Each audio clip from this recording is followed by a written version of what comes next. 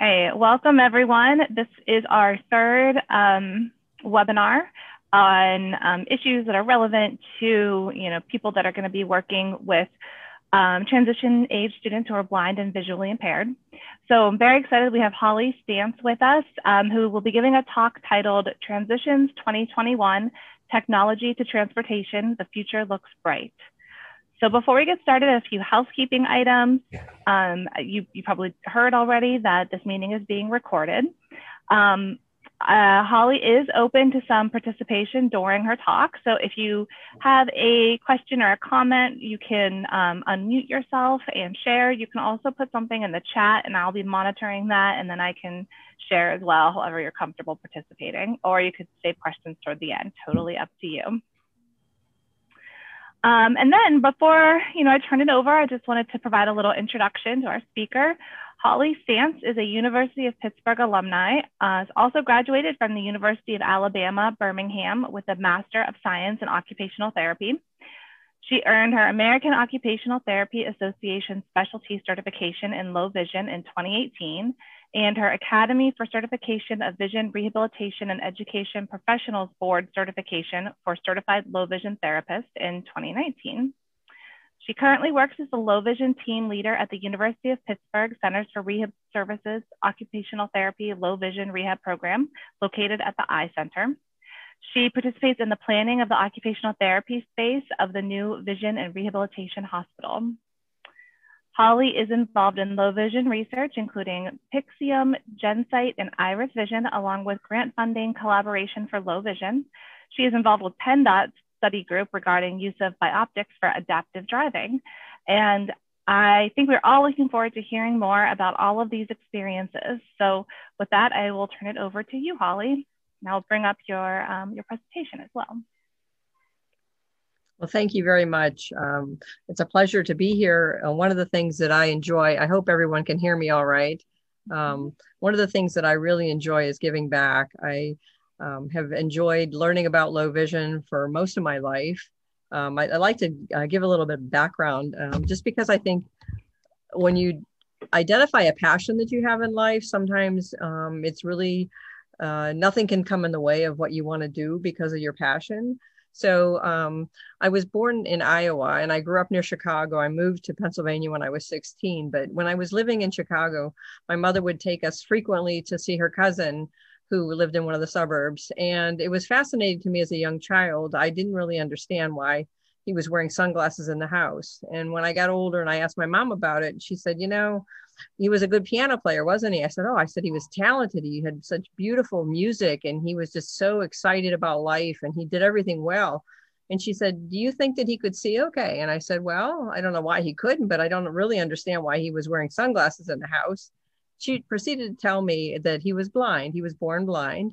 And he actually was such a good piano player and such a, a very well um, respected uh, musician that in the Chicago area, anytime um, Liberace, who was a very famous piano player, um, came to town, they would hire a limousine and pick him up, and then he would go and, and tune Liberace's piano. So I was, you know, I, I just think that that's such a beautiful story about how um, you know we have to think about people and and you know look at the talent that they have and, and help them oftentimes we may want to help them identify the talents that they have um, the other reason uh, I got really super interested in low vision was um, after moving here and when I got married. Um, so if you're from Pittsburgh, you probably can really appreciate this story. Um, of course, my father-in-law has now passed on, but um, he was a steel worker. Uh, he worked in uh, Christy Park in McKeesport for many, many years, 38 years to be exact. And uh, when I was graduating from uh, OT school in 1991, um, I was taking him. Well, actually, I wasn't taking him. I was riding in the back seat of the car, and we lived in a rural t- area. If, if, you're familiar with Westmoreland County, we lived in a very small town called Ruffsdale. And he was driving on the country roads. We were getting closer to Greensburg, and he started asking his wife, you know, what color is the stoplight? You know, is there a car coming? And um, what does the sign say? And I sat in the back seat thinking to myself, oh my goodness, he can't see. um, so then, it, you know, I took him down to ear and they di- diagnosed him with macular degeneration. So I started going to every single thing that I could possibly learn about low vision. And at that time, um, it wasn't necessarily coming out so much that occupational therapists were helping in low vision, but um, I would like to give uh, some credit to, to uh, she is now Dr. Mary Warren. At the time, um, when I was in 1991, I was a new grad. I actually reached out to her. I went to many of her lectures that she was giving around the country about low vision and, and uh, uh, brain related, you know, vision loss from TBI and from stroke. And I actually went to many of her courses. And then in 1993, working at a small hospital in Westmoreland County, which unfortunately they tore it down recently, uh, Jeannette Hospital, I was, I, I, still remember standing in the occupational therapy ADL gym and I'm calling Mary Warren. And she said, Well, Holly, she said, you know, um, this was 93. She said, You can come down to Kansas and I'll be happy to take you around and you can follow me and you can find out all about low vision. Well, I was a little apprehensive because I thought, you know, I knew that I wanted to grow a program right there in the hospital. And I actually was able to talk to the administrators and say, look, we need to help people that can't see well. We need to do a low vision program in the hospital. But there were a couple of things going on then. Number one, um, I was a new grad and I'm talking to administration, which was kind of really exciting for me at the time. But number two, when I looked on the map, New York City was a lot closer to Pittsburgh than Kansas was. So what happened was I actually reached out to um, New York City. I reached out to um, an organization there, which is very, very famous. I'm sure some of you have heard of Lighthouse. And the people that were running a special program at that time, um, Dr. Eleanor Faye and um, Claire Hood. Um, if you if you Google Eleanor Faye, she she's very, very, very respected in the in the low vision world. Uh, she passed away just a couple years ago. But the, the point being, you know, I started this passion back in 91, 92, 93. And then, you know, I everywhere I went, I wanted to do something with vision. We were able to start a program at um, Jeannette Hospital, but at that time, you couldn't accept an occupational therapist could not accept any kind of a referral from an optometrist. So we had to go uh, because I'm in the medical model, we had to go a different route to get our referrals to help people with low vision. We had to get an ophthalmologist to get a referral, then we could work with the ophthalmologist and the optometrist until 2002 when some of that changed. And we'll talk about that in a minute. But the reason I bring all this up is because when I got hired by uh, UPMC CRS in 2013, um, one of the jobs that I, I was vying for was a uh, low vision and I didn't really get what was happening then at that time. Um, and then in 2013, so in the fall of 2013, I was introduced to Elsa Zavoda. The reason that's important is because she was an occupational therapist who was involved with CentraSight, which is an organization that started um, implanting the uh, in, uh, miniature telescope, and, and we're going to talk about that too.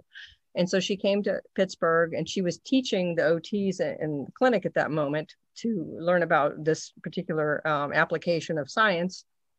And she said to me, Well, why don't you go to UAB? You know, they have this great program with Mary Warren and I literally about fell off my chair because I had kind of fell out of the the realm of the low vision. I've always did a lot of things with vision. I, I, I wrote grants for the Dynavision to help people you know, everywhere I worked, but I kind of lost touch with Mary Warren. And here, that's when I went back to school, got my degree from UAB, and she was actually the director of the low vision um, rehab uh, graduate certificate program. So I am very blessed. it's a, it's a great story. It's a, it's a it's a beautiful opportunity, and to share some of these things. Um, I, I you know, I'm very happy to be here with all of you. I'm not sure where you are in your education. And I did ask um, Jamie in the beginning, you know, can this be interactive? Because it's important to me to know who I'm speaking with. Um, if you're interested, we could take one minute and you can go around the room and just tell me a little bit about, you know, you know, where you're at in the school process. You know, are you a counselor? Are you a TVI? You know, what is your interest in this? Just because it helps um, for me to kind of like, wow, okay, I can kind of talk a little bit more about that or whatever. Because um, honestly, you don't really have to twist my arm to talk about this topic. I love it. It's, it's very dear to me. Uh, I actually still have uh, a very, a sister who's not too much older than myself that's suffering some, some vision loss. And, I, you know, it's something that I'll always, always have a passion for. So if we just take one second, I already met um, Tessa, which is great. Um, Donna, if you want to just uh, unmute for just a second and let me know about yourself. If you don't feel comfortable that we don't have to do this, we'll just keep on going. It's not a problem. Um, I'm a student at Pitt, and I had an appointment at this time, so I'm actually listening while I'm at the appointment with a mask on. So I don't want to um, talk too long. That's okay. okay. That's okay. Thank you, Joanna. Hi, uh, I'm just laughing at Donna. okay. Um, I'm Joanna, and I have been a teacher for over 25 years, um, elementary, and currently I'm teaching middle school, uh, eighth grade reading. Uh, so this is kind of my second career, as you can say. Um, one thing about me is that I have a son. He's in 11th grade and he has low vision. Okay. He has albinism. Mm-hmm. Um, so I've kind of been his, um, you know, unofficial TVI mm-hmm. since he was born. Um, and he currently is like a straight A student, honor student, plays two instruments, drives a car on a restricted license. Okay. Just state swimmer, just does everything, you know, but he does have the the low vision and you have to keep that in mind. Um so yeah, I just kind of love this stuff on a personal level but also uh on a TVI level as well for my future. Well, thank you very much for sure. sharing. Um, I don't have anybody else on my screen. I'm sure there's other people. I think I saw Shireen yeah. and, and I know Shireen. yeah. Hi, Holly. Hi. It's so good to see you. Um, uh, just so everyone knows, I am a first year counseling student now, and I actually had the pleasant opportunity to work with Holly in my previous role as a clinical research coordinator at the UPMC Eye Center. And they are doing some incredible work. So it's very, I'm very excited to be here and hear you talk. Aww. Thank you. It's so nice to see you, Shireen. You are in the right place because you have a great heart. yeah, so, so good to see you too.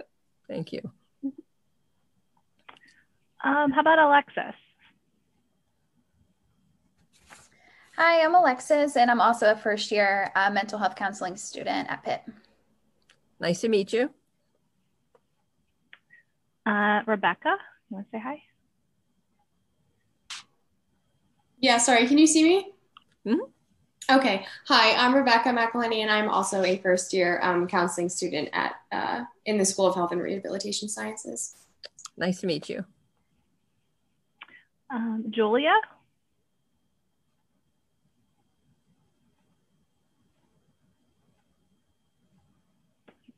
Maybe we'll come back to Julia. Oh, there she is. Oh, she went away again. Okay, we'll come back to Julia. Um, Jason? Hi, uh, I'm Jason. I'm also a first year counseling student as well, just starting to learn about this stuff. Nice to meet you. Nice to meet you as well. Meg? Hi, I'm Meg. I'm a current TVI at the Western Pennsylvania School for Blind Children, and I'm in the comms program right now, and I'm really interested in the subject and there's contractors about to start up with a drill behind my house again. So I'm going to put on mute again real fast before they start up again. it's nice to meet you, Meg. Um, Madalena. Hi. Yeah, I know my no- my name is crazy, but uh, I'm a first year at the TVI program at Pitt for masters and certification. But both my parents were both TVIs, so that's kind of how I was introduced to this world and always fought it. I was like, I'm never going to be a teacher. Hmm. Oh my gosh, why would I do what my parents do? and here I am. You know how it goes. but yeah, I just love this this type of stuff, and yeah, I'm just excited to be here. So yeah, that's it. Thank you. Uh, Autumn. Hi, I'm Autumn. I'm a third year uh, TVI in Pennsylvania out in South Central PA. I am also part of the Combs program and I graduated with my master's in December and have my internship scheduled for this summer. Congratulations. Thank you. It's nice meeting you. You as well. Lindsay? Hi, I'm Lindsay. Um, I am a third year TVI as well. I graduated from Kutztown and I'm in the Combs project. Um, and I currently live in King of Prussia, but I subcontract in Delaware. Um, just a side note, I'm very interested in this. My friend is um, an OT, but she specializes in mental health and like I guess you would like sexual relations or human sexuality, um, however you want to state it. But um, I just think it's super cool the crossover between OT and and vision. Oh, thank you. No, nice to meet you, Lindsay. You too. Try Julia one more time.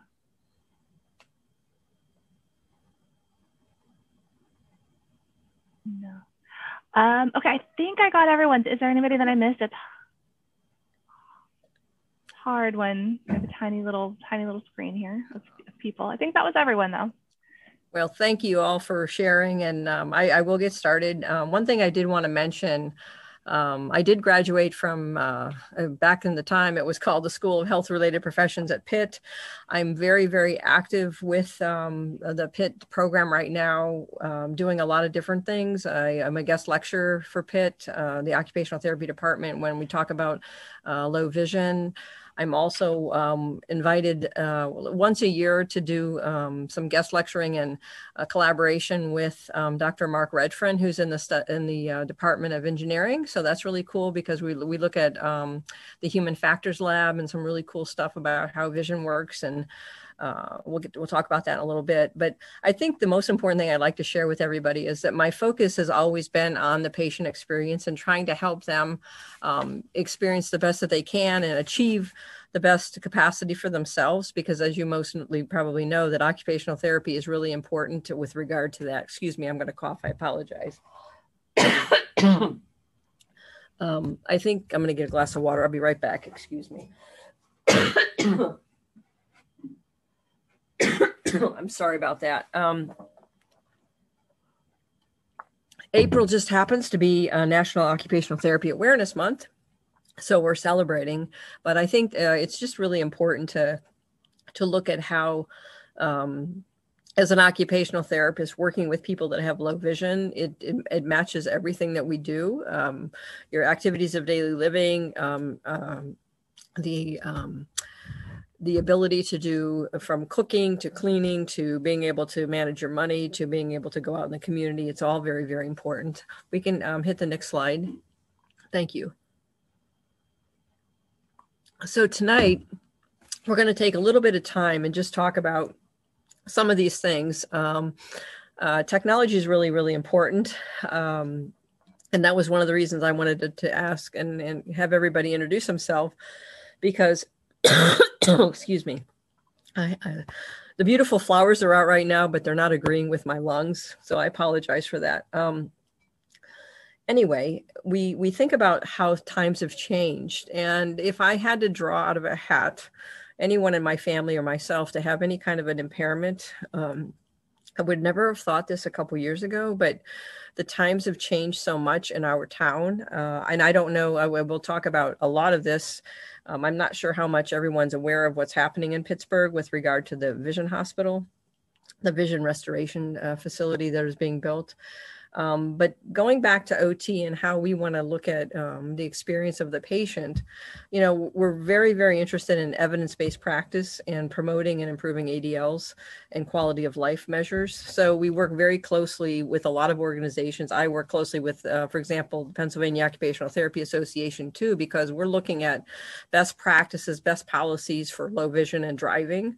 Um, my background, I didn't mention this. I've worked most of my career with the elderly population across inpatient rehab, long term care, outpatient facilities, and also continuous care retirement communities.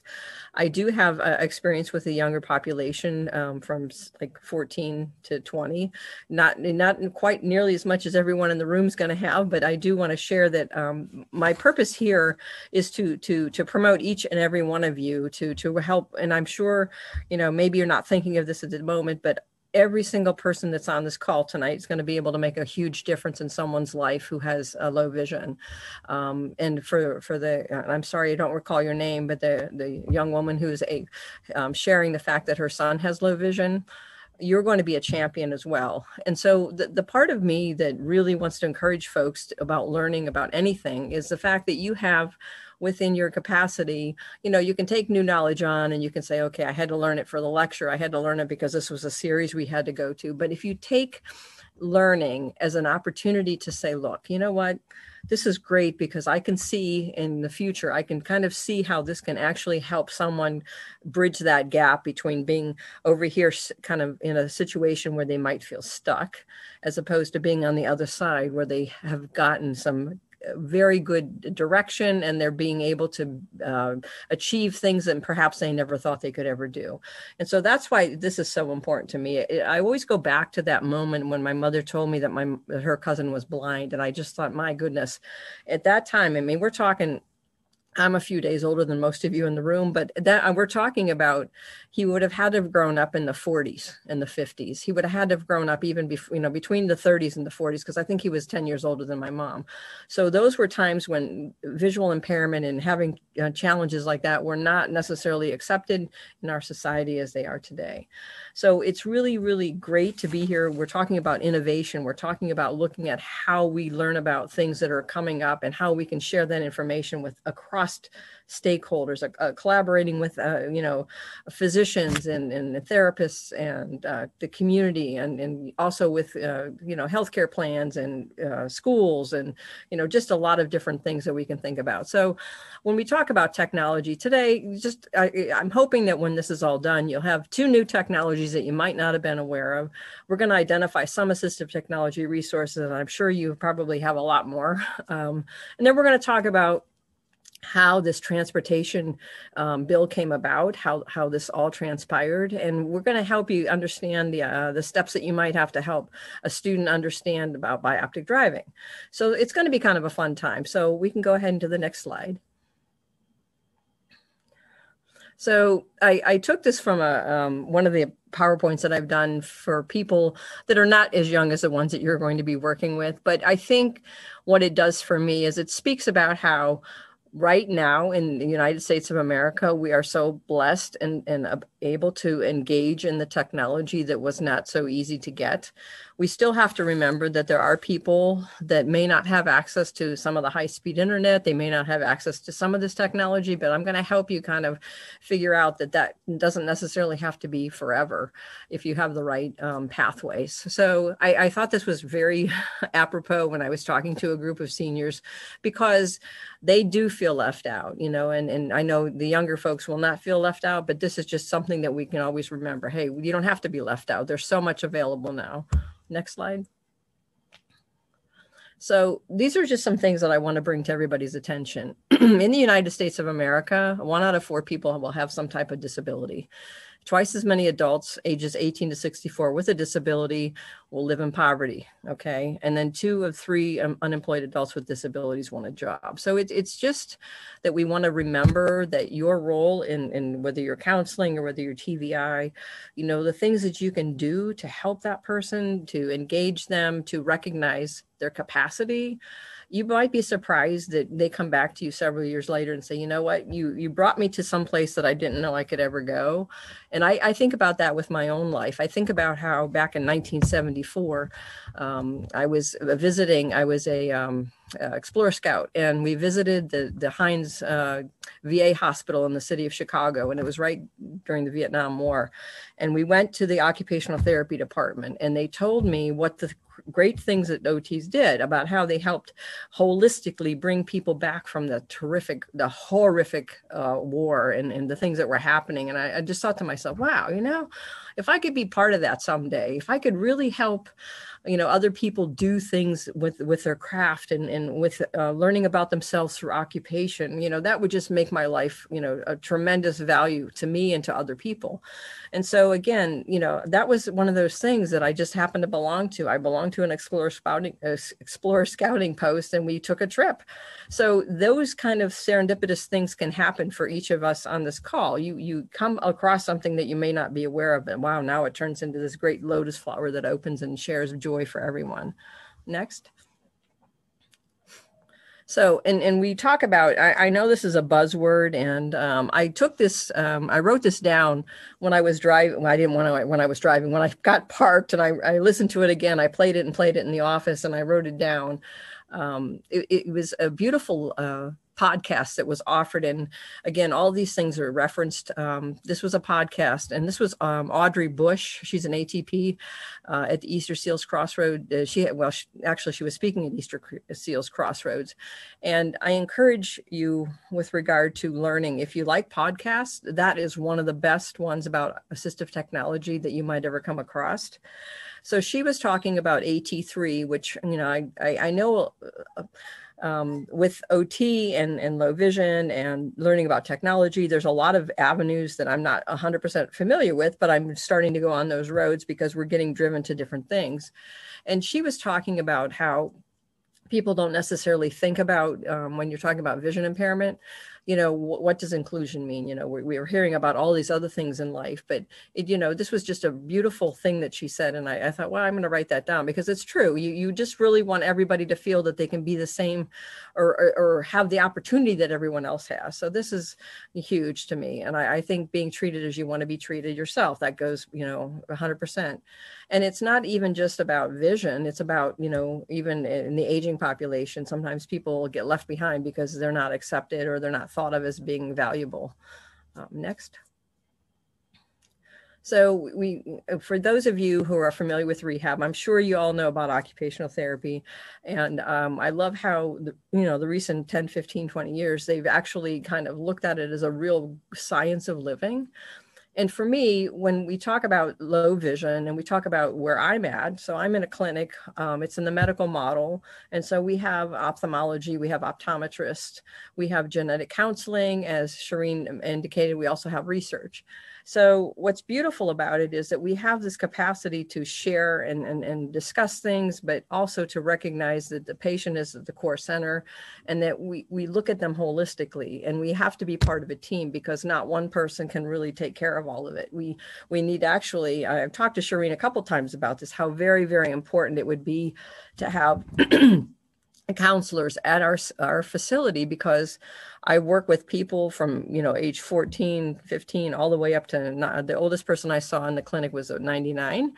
And when you talk about vision impairment and low vision, so if you're working in a school system, you the person, the child most likely had it all their life.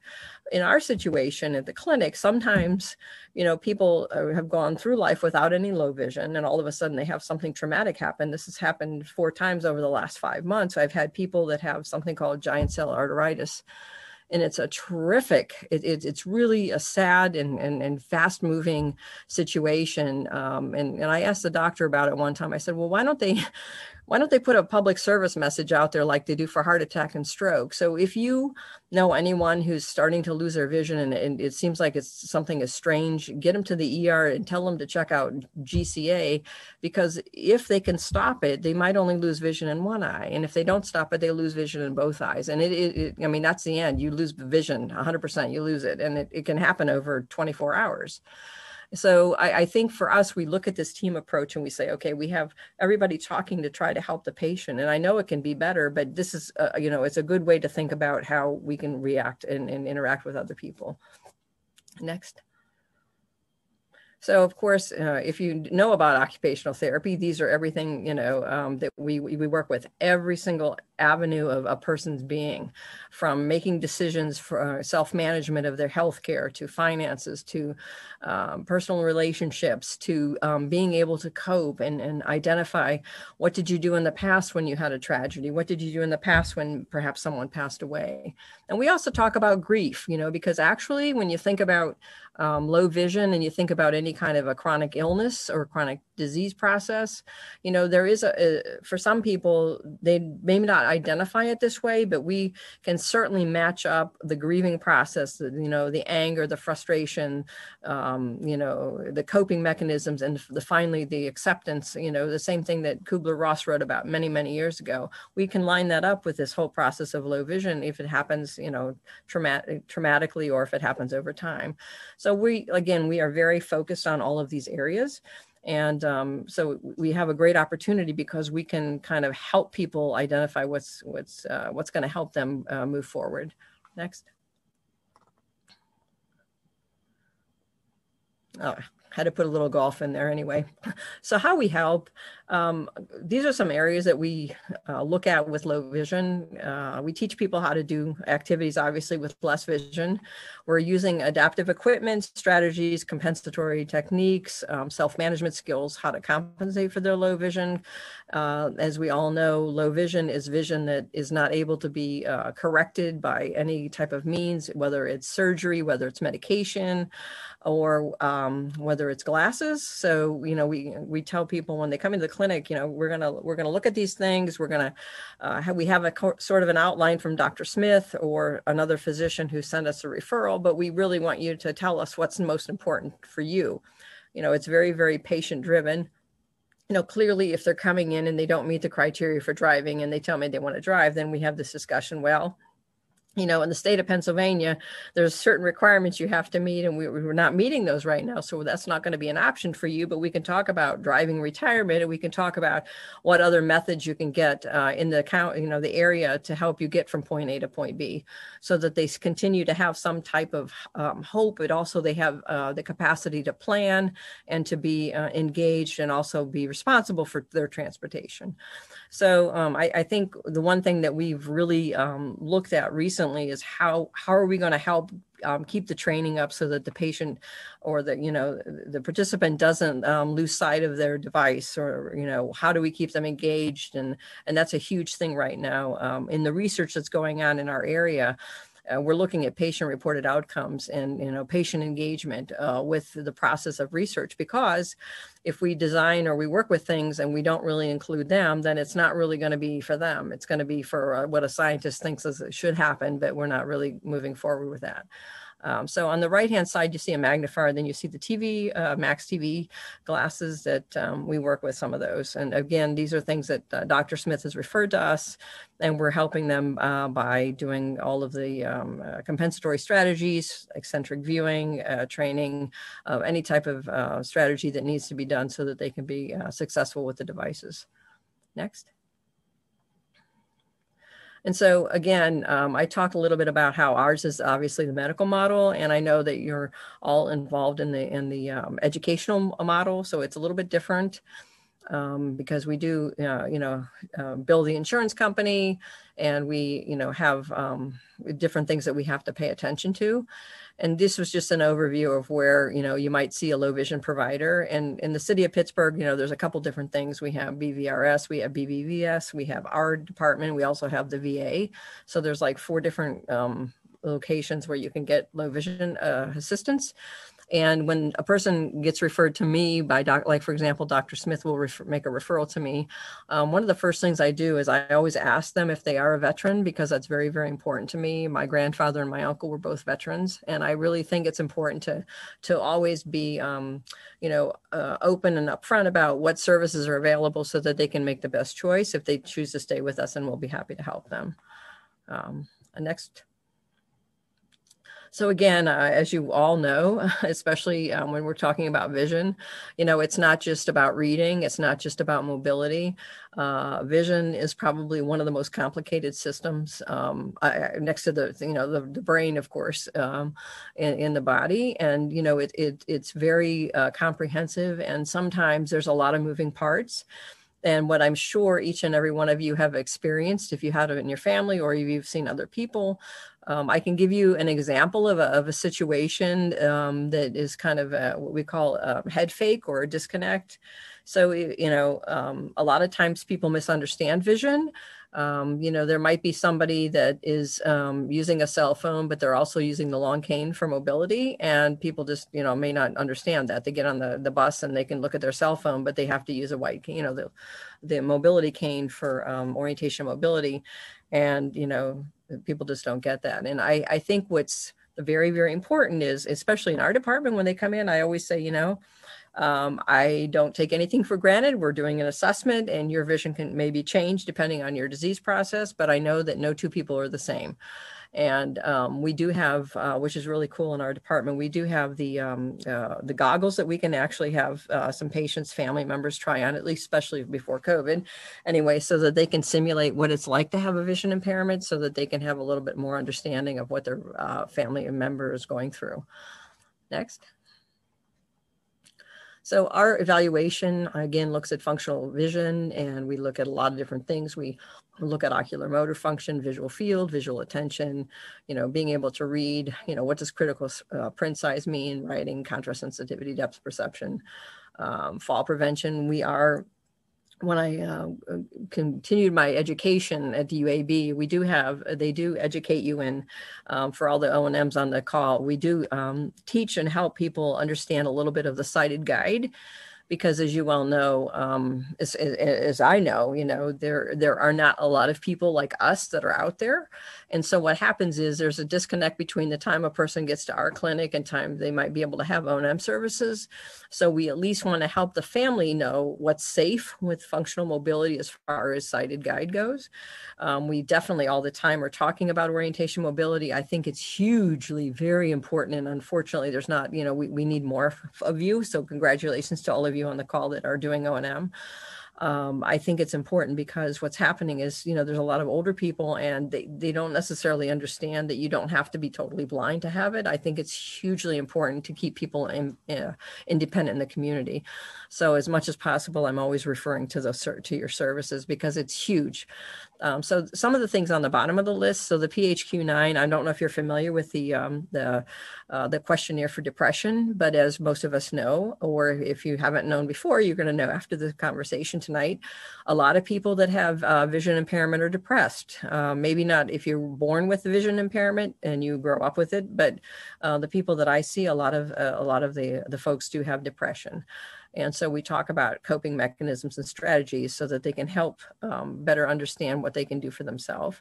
And then the last one, the revised self-assessment, um, that is an, uh, a document that Mary Warren and her group actually helped to establish. It's a, a questionnaire that we ask uh, the patients at the beginning, uh, the, the first session and the last session.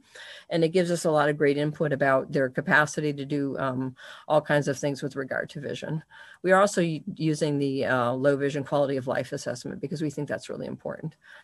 Next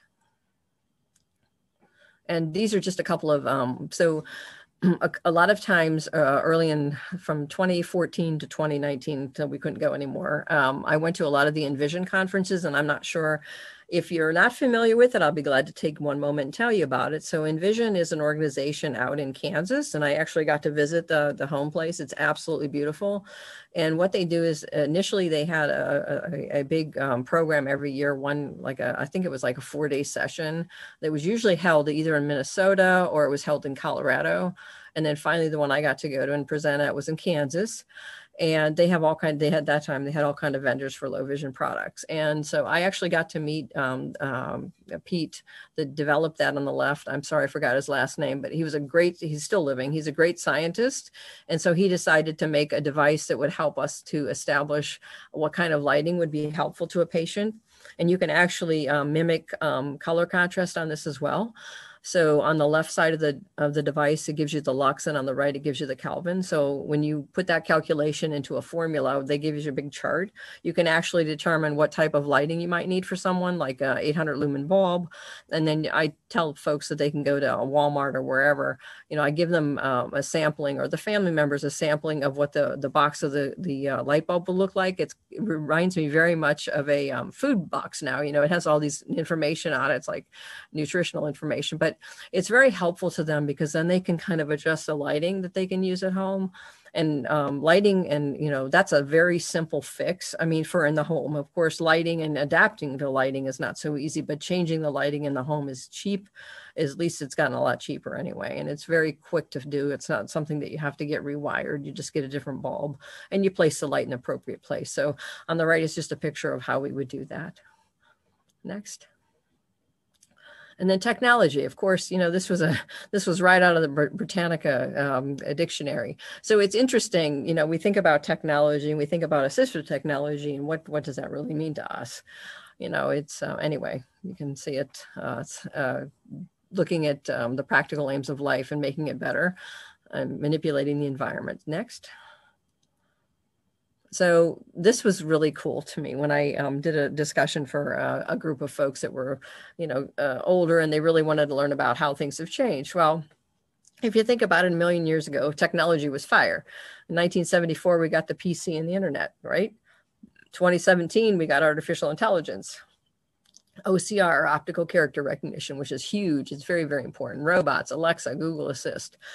You know, we're not sure where technology is going, but some of us might think soon there'll be self-driving cars. Some of us might think that, uh, you know, who knows? I, I know in, in, at the Eye Center we're doing some really cool things. Where um, Dr. Sahel, who was um, brought over from France in 2016, he was recruited to Pitt and to the Eye Center as a, a tremendously uh, well-known, world-renowned scientist, uh, ophthalmologist. And one of the things he participates in is um, this future of vision, uh, vision restoration. Uh, and it's biological. It's from, um, you know, uh, doing genetics to, um, you know, implantation of uh, bio- chips uh, to you know doing injections, uh, you know, uh, viral injections uh, to to promote uh, replication of the cells in, in you know in the retina. So it's really really huge. So we really don't know at this moment. You know, um, some people think that oh you know you, can you can you uh, provide artificial vision? You know, well, we're working. They're working on that. We have a couple of people we're the second um, site in the world to do one of the, the studies called the Apixium, where they've actually implanted a very, very small chip into the retina and what happens then is um, with uh, infrared lighting, uh, a person wears a pair of goggles and the light beam hits onto the chip and then they're supposed you know they're able to look at something. And um, they're they're taking people that were considered um, you know severe severe severely low vision and they're giving them uh, you know a higher uh, ability to see. So it's almost taking someone who's blind and being able to see a little bit now. So it's it's huge and we we're just in the beginning. So next so AT, as most of you know, is a device, uh, any type of thing that you can use to help someone, um, whether it's education, employment, daily living. Um, what's interesting, again, I don't know how many of you are familiar with the AT3 Act. I'm not sure if you're familiar with the AT Act um, that started in 1986 and it went to 2004. Um, so it, it's throughout the United States. Um, it, it's huge. Uh, it allows for opportunities for uh, use of technology. Um, the other thing is when we, we think of AT, if you're familiar with the, the Pennsylvania PATF, uh, Pennsylvania Assistive Technology Foundation, there's actually um, some really cool things that that organization are doing right now. And um, if you want more information, it is in the PowerPoint. You can actually recommend for someone right now. It started in January. If they need a loan for equipment. It can go from, I believe, $150 to $7,000. So you can get a loan at no cost. So it's no interest for four years.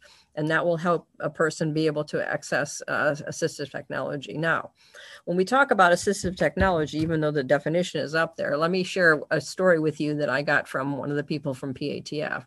So they said that, you know, assistive technology doesn't necessarily have to be like um, what we think it might be. So for example, maybe you think it's a computer. Okay, well, maybe. She, um, she explained to me that there was a family that approached them because they have a child that had autism and they were concerned that the child um, was not necessarily able to stay contained in the backyard because of whatever their behavior was. So they asked if it was possible to have some funding to be able to put a fence up. And so they were actually able to get that loan because the child needed it to help them maintain some quality of life and independence and safety.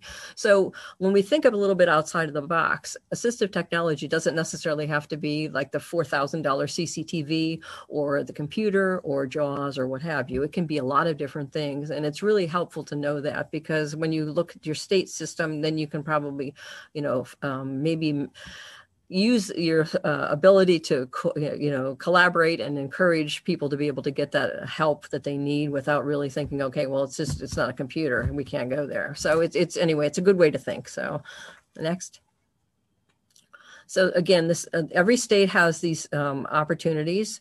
So the four state uh, four state level activities would be assistive technology demonstration, um, device loan reutilization, and state financing. and every state has um, this underneath uh, you know, in in their uh, government. So you you have to look under, um, you know, whatever the state you live in. Look for the assistive technology programs, and they are mandated by law to have these, uh, you know, actual uh, device programs for people. Um, the interesting thing about the PATF is you could actually borrow equipment for like it's almost like a loaning library. You could borrow it for a month you have to turn it back in. And then they also have a program where if someone passes away or perhaps they've outgrown that assistive technology, which, mm, you know, in the school system, you can imagine that, then they can actually revitalize it and use it again. Um, the state financing was an example of the PATF program that I just spoke about. Next. Again, here's, um, you know, the the mini loan program, no fee. Okay, hundred dollars to seven thousand. So, and the AT three center, it's it's huge. Um, uh, you know, it's uh, housed under. Um, you know, it used to be called something else, um, human something. I'm sorry, I lost it years ago. It was called something else, but the program is housed under the assistive technology and the uh, administration for community living. So, you know, it's a huge push in the government to try to keep people where they're at. So, I think it's going to be even more valuable as um, the students grow up and they, you know, engage in this opportunity to have the assistive technology and actually be able to be more educated about the technology that can help them so that they can have more um, personal investment and capacity to say look you know i know that if i have this or if i'm aware of that i might be able to to uh, be able to do things more for myself. Next. And again as we know about vision we know that uh, vision impairment you know affects all of these things. Uh, obviously the dependent uh, the, you know how quick a person's able to make a decision can be very related and dependent upon vision. Um, you know, how your environment, uh, your ability to react to the environment is huge. Excuse me. And I realized again, you know, when when we talk about children, that are growing up in the system and they are familiar with you know having orientation mobility early on and they they they really um, in my opinion they they have a great um, capacity to engage because they, they learn quickly and, and they learn how important it is to be self-sufficient, so to speak. And they're fine. Their, their confidence is probably a lot higher than some of the people that I see because they, they've grown up with it and the ability to have all that opportunity. Next. So when, when we talk about the technology, you know, this is this was very interesting to me. Um, doing a little bit of review for the talk, um, the global trend, you know, it's huge. It's absolutely huge. Um, they're expecting that assistive technology growth is going to be 73% by 2024. Uh, and the World Health uh, Organization, uh, the World Health Organization, excuse me, is actually looking at how this is going to help people throughout the world. So it's uh, you know it's it's it's quite uh, fascinating. You know, maybe you know we might think of a a country that doesn't have maybe great access to health for everybody, but maybe you know I, have heard many many times that um, so even if they're economically challenged, they might have a cell phone, and which is fine because if they have the ability to have a cell tower and they have a cell phone, that gives them some type of connection. So it's it's just really uh, fascinating. Again, it, it's it's great. We we live in a wonderful time where we can actually help a lot of people. Next. So this was just a, you know, looking, you know, right now at this very moment in 2019, who, how many people really in America have a cell phone, right? So clearly we know that people that are younger are going to have a lot more, um, you know, need for that and access to that. Um, you know, the older folks, people over 90, you know, it, it, really should never you should never categorize or put people in boxes but i will tell you and i and i don't um, one time someone talked to me about their age and i said well this is the way I look at it. It gives you certain privileges, it gives you certain discounts, and it's just a measurement. It doesn't really say anything about who you are or what you're doing in your life. I had a 98 year old woman that came into the low vision clinic and told me everything she does with Alexa. And I was very impressed. And I said, well, I'm going to have to write some of those things down. So it doesn't matter how old you are. You can, you, you know, technology knows no age. Assistive technology knows no age. And it's just a good way to think about it. Next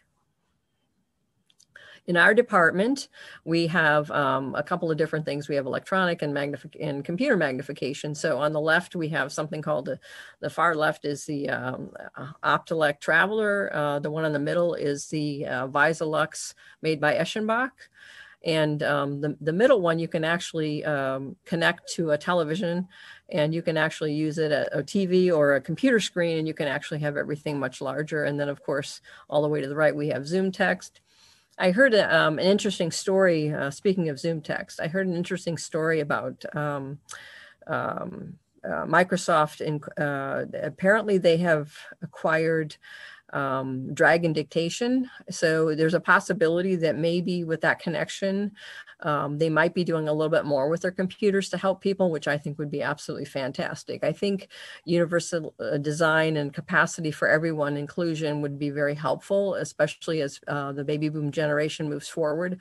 So what I think this might translate into is whenever a person buys a computer, that some of that stuff might be built in. As we know, uh, for example, Windows 10 has a lot of more accessibility than any other uh, program in the recent past. So the computers are really trying to, I think, catch up and also um, maybe outshine other computer program products so that they can be um, more competitive and, and, you know, obviously make some more money. Next again this is just a uh, something you can look at if you if you're not familiar with it windows 10 uh, does have a, a, great program for um, ease of access and it's not just about vision it's about hearing as well next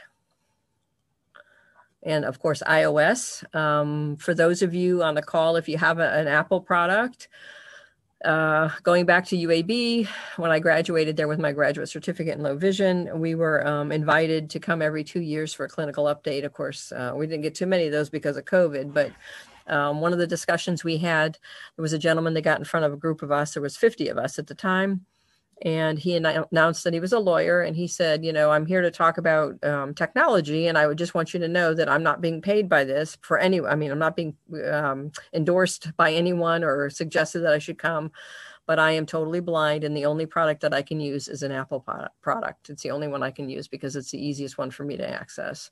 Uh, in 2007, Apple actually um, built a group of people um, to improve accessibility. So it was uh, kind of like a universal design and I, I, can't recall the amount of people of you know from different um, disability areas uh, that are on this team. I know there was someone with low vision, there's someone with low hearing, there's someone who's physically uh, has challenges that is not able to you know manipulate the the device like everyone else. So you know, I, I, realize that it's a marketing uh, area, but I also um, applaud that because I think again, um, over the years, it's it's um, it's very apparent to me that while some um, challenges uh, still occur for people that are physically um, not able to do certain things, I think the low vision and, and hearing areas have been um, uh, underserved. And I'm hoping that that's changing uh, every day as we speak. Next.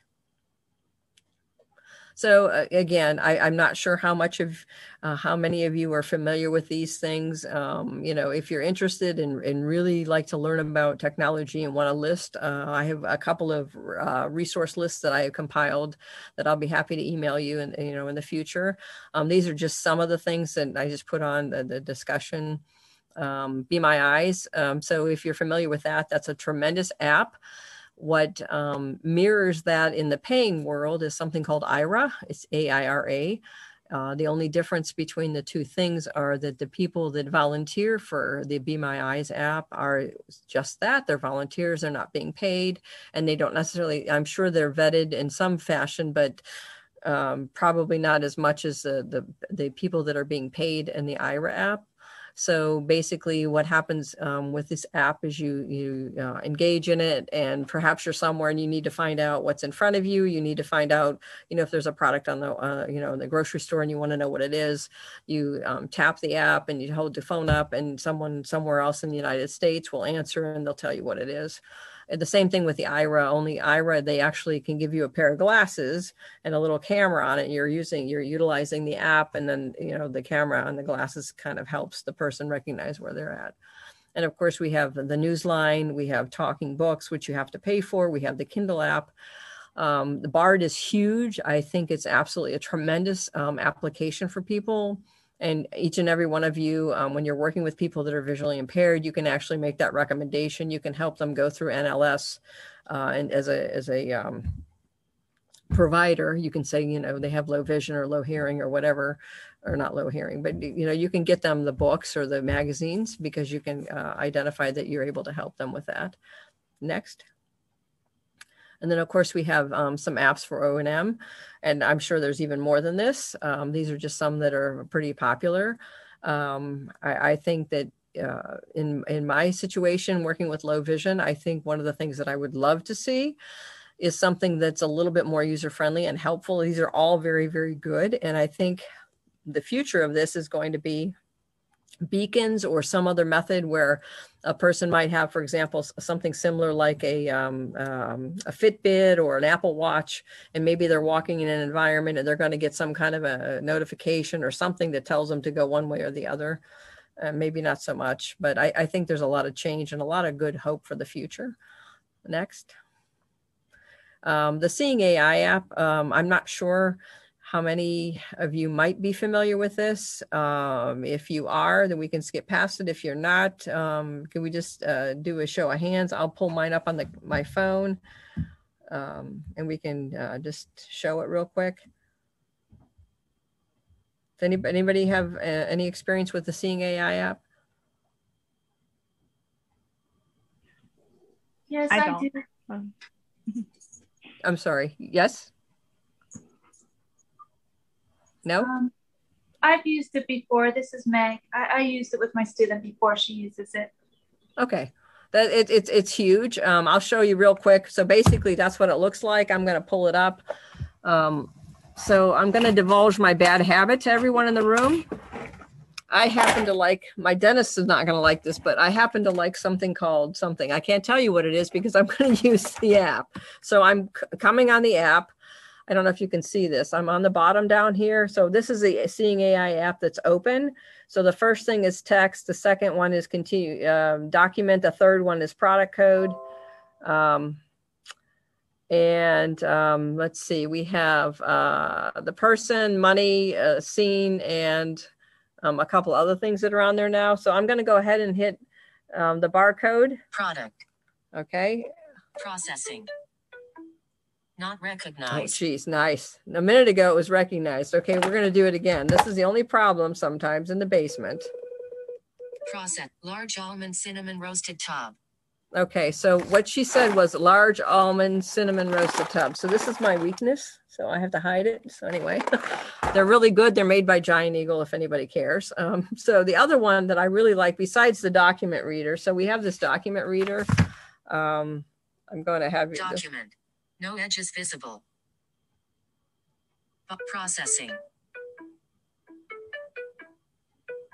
Okay. And then it's going to start reading. I am an OT clinical expert low vision rehab team leader for the University of Pittsburgh Medical Center Centers for Rehab Service. Okay, so it reads, and you can do a, um, a short text, you can do a long text. What I also like, this is really fun. So I don't, I'm not, zero I don't know what it's going to say about me, but here One we go. One face near left edge. One face near center. Processing. 51 year old woman with brown hair wearing glasses looking happy. Well, I Zero will, faces. I will have to tell you that's younger than I am. So I'm very happy we made that work today.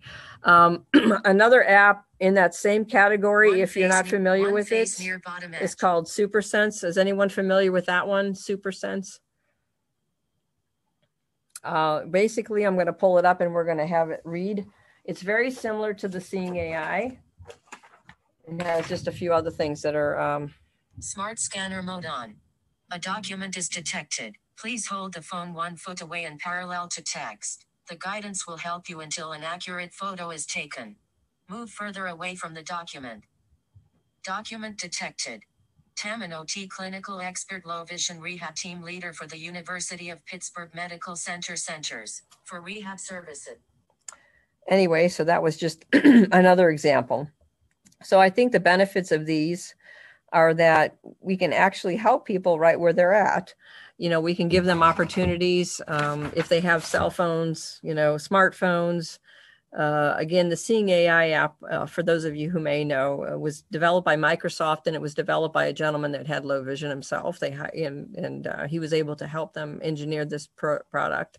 I think it's tremendous. It has multiple languages. I was very surprised at how many different languages it's available in now. So, again, this is the this is what I'm always hopeful for that we're actually looking at um, creating things that are wonderful that can be obviously it costs money to have the phone but when you look at this technology back in you know 30 40 50 years ago it was worth over a half a million dollars and now it's on an iphone that's and the, you know it's free and for those of you that um, are familiar with you know ocr technology um, the applications for that are still like $99 you know if, if you if you um, download that particular application. I'm sorry just lost the, the name of it um, that was hugely successful early on. Um, but anyway so that's that's something to be thinking about too. Next. Um, again, back to the O&M, I'm sure you probably have heard about the WeWalk uh, Smart Cane. So I think what's very um, nice about this type of idea is the fact that they're thinking they're they're they're looking at engaging, um, you know, the client, uh, engaging uh, certainly the professionals, uh, the O and M specialist, to be able to design things. And I, I think um, from my experience as an OT working in low vision, I think it's hugely important to to to help participate in those types of discussions and being involved in the research because I think you bring such a valuable aspect to that. Um, obviously, when you have scientists get together and they have an idea, you know, it's great that they have an idea, but if they don't consider all of the um, uh, you know the detail that goes with that idea including consideration for age consideration for uh, you know cognitive capacity then they might be seeing uh, two different things. They might be thinking one thing and, and implementing something that has absolutely no value whatsoever. Um, and i can speak to that when we talked about the iris vision device. Uh, next and um, I came across uh, the podcast because I drive uh, about 37 miles one way to work every day. I don't live in Pittsburgh. I live in uh, the suburb of New Stanton, uh, in that area, and so it's a it's a ways for me every day. And so I, I really um, like to participate in podcast listening because it seems so nice to to learn something on the road. Um, and I heard um, again, this goes back to the uh, InData project um, uh, from Easter Seals in Indiana.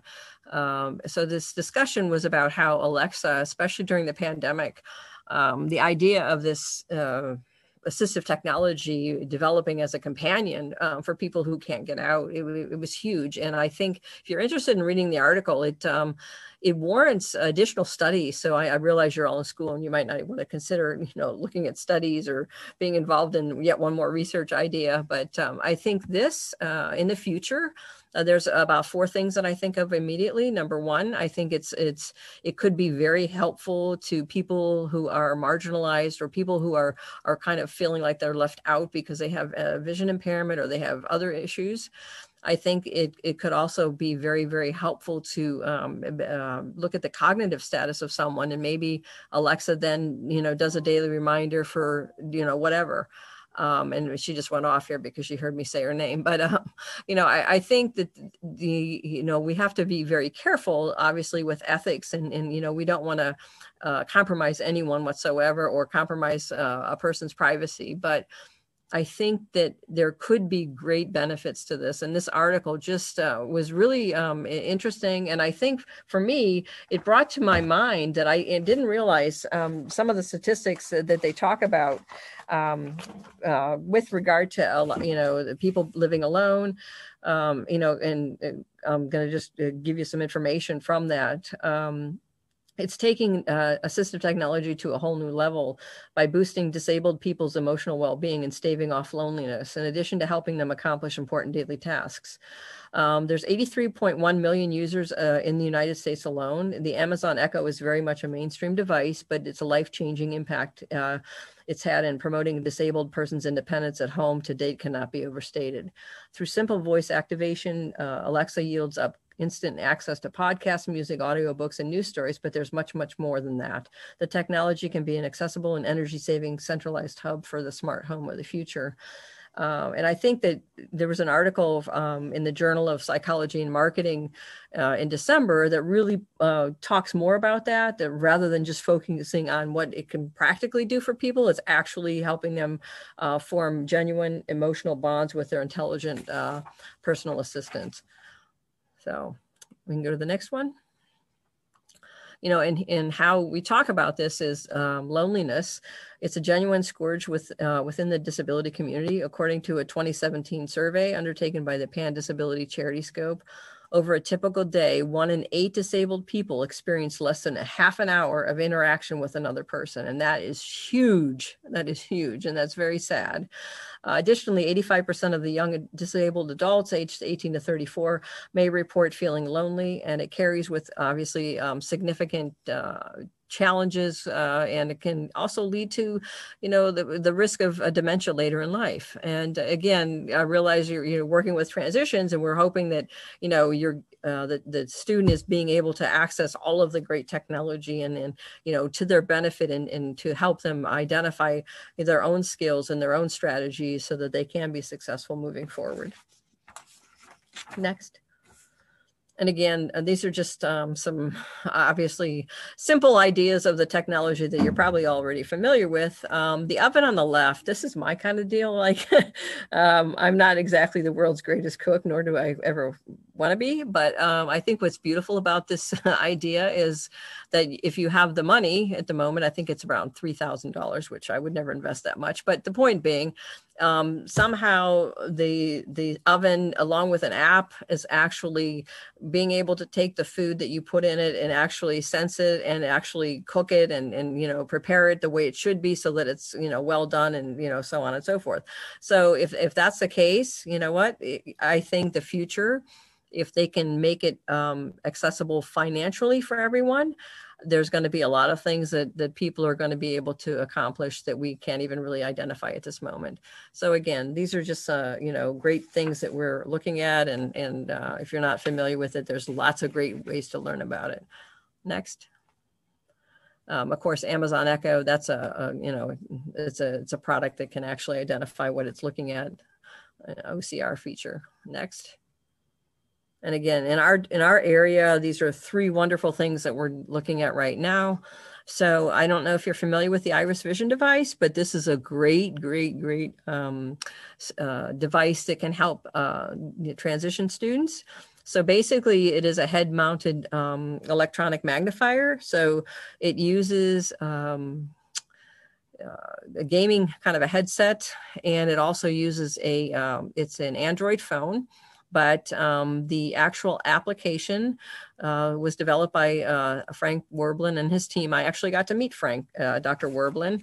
I um, he came to Pittsburgh and I had a discussion with him and I said, you know, we really ought to think about doing some research about how, um, you know, the device can help people.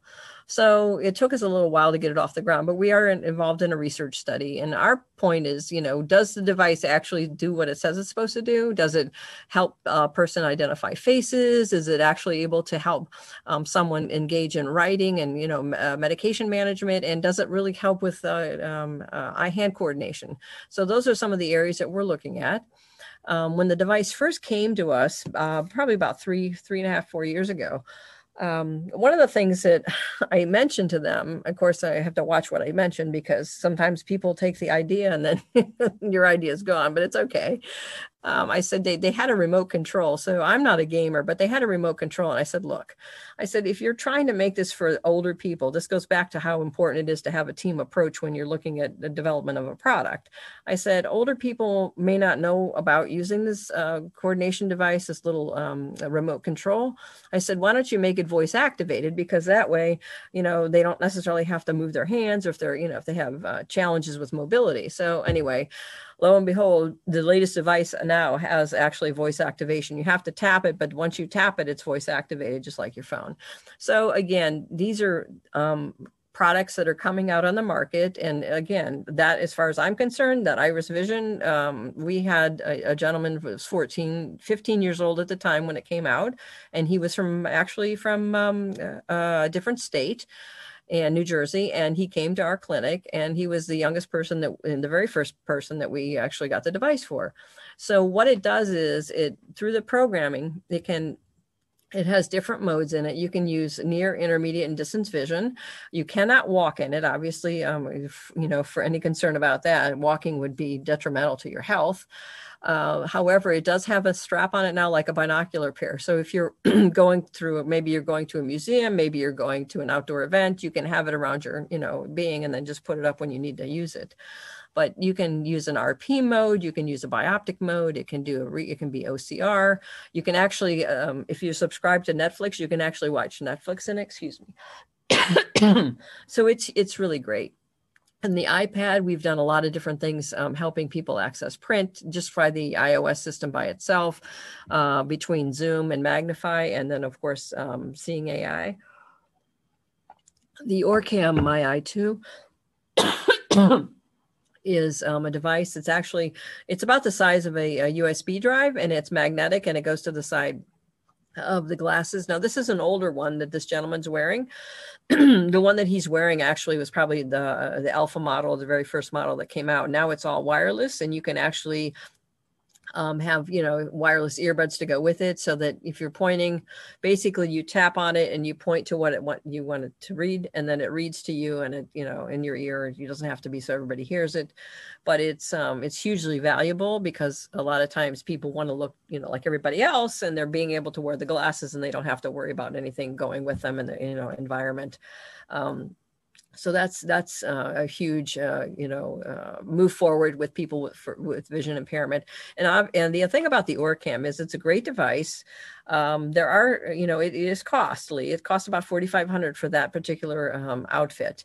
And you know the thing that concerns it's not concerned but the thing that we always um, consider when we're working with a patient is if they have a smartphone, uh, for example, the uh, Apple, if they have the Apple product, you know, how different is the Apple product with the Seeing AI than the Orcam? So again, you know you weigh out all these things. You weigh out the ease of use use utility of it you know is a person going to be able to immediately go home and use it and the training and all this kind of thing. So that's a big big thing for us because we don't want uh, device abandonment because clearly if they've got funding for this or family members or what have you someone help pay for this you know we don't want them to put it on the shelf and say we're not going to use it. So next and then this is just a, a couple of quick slides about um, working and how important, you know, your job is to encourage people in the transition age. Um, you know, these uh, particular uh, statistics came from AFB and you know um, for the for the uh,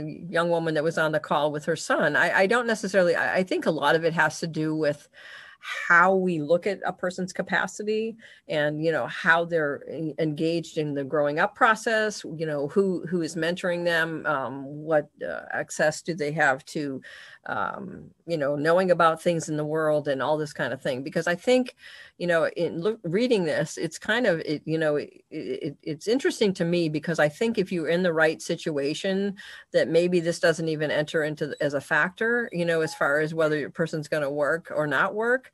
I think um, you know certainly in the school system you know the, the, counseling and the uh, tvi and the o&m everybody has a great role to help that person. But it's it's it's not just you know it's it's a collaborative effort. So even if you have all those things working in the school you still have the family to take care of. You still have the family to to to concern yourself with with regard to how that all goes together for the student and for the child. Um, but I, I think anyway regardless it's, it's great to know that you are a part of that and that you can encourage people to to actually actually achieve the best that they can for themselves. And then that's kind of like what ot does. And i think that's just huge.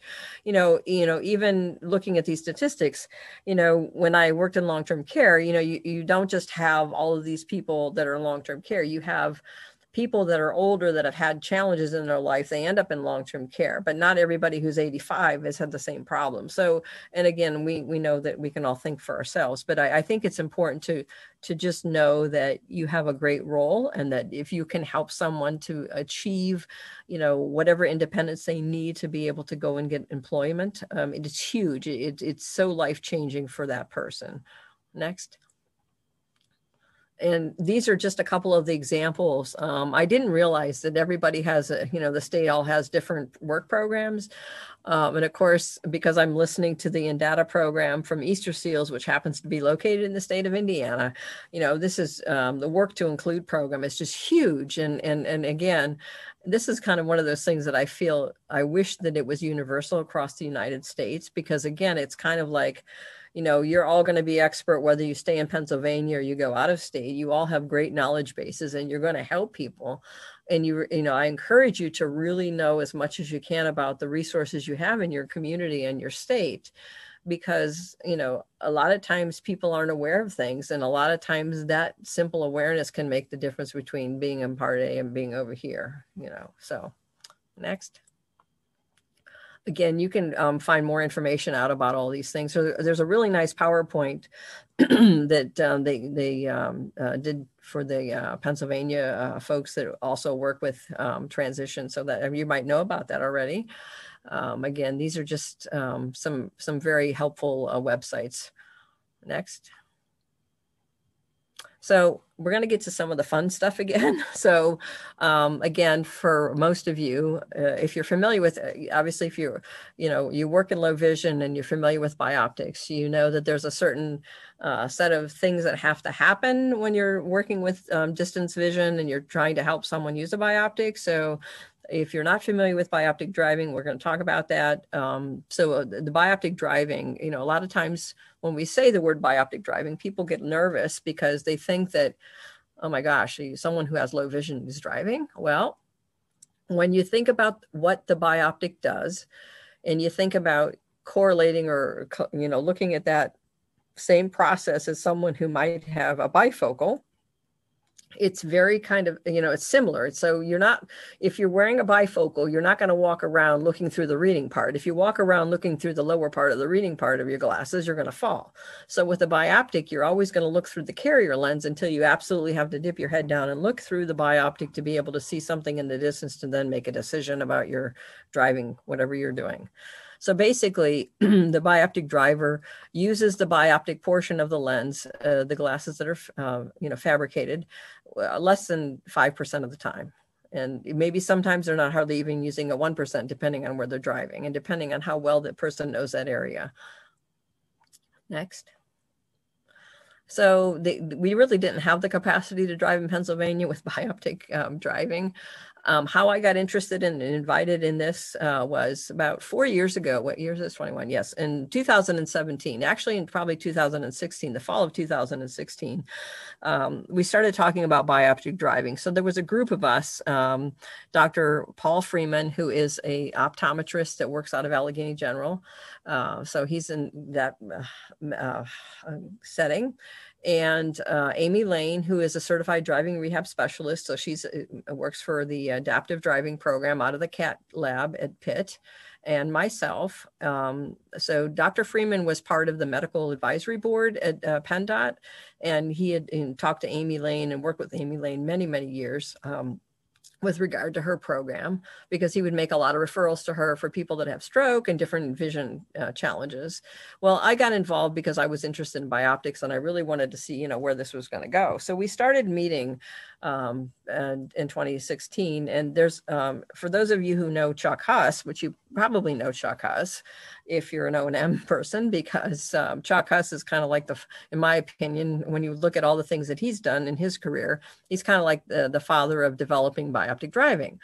So he is located in West Virginia and he had a, he has had a program since I think 1985 and um, he's absolutely wonderful. And um, he has been so helpful to Amy and myself. So we got invited to go to his program. So if you ever get, and I know he's going to be retiring at the end of the year. So I'm just mentioning this. If you have any desire or any interest or know any, anyone that might want to go and learn about the bioptic driving program in West Virginia before he retires, you know, go for it. We were able to spend three days there. We learned an awful lot about what he does. We learned about how active he is with developing other programs like the one in Texas.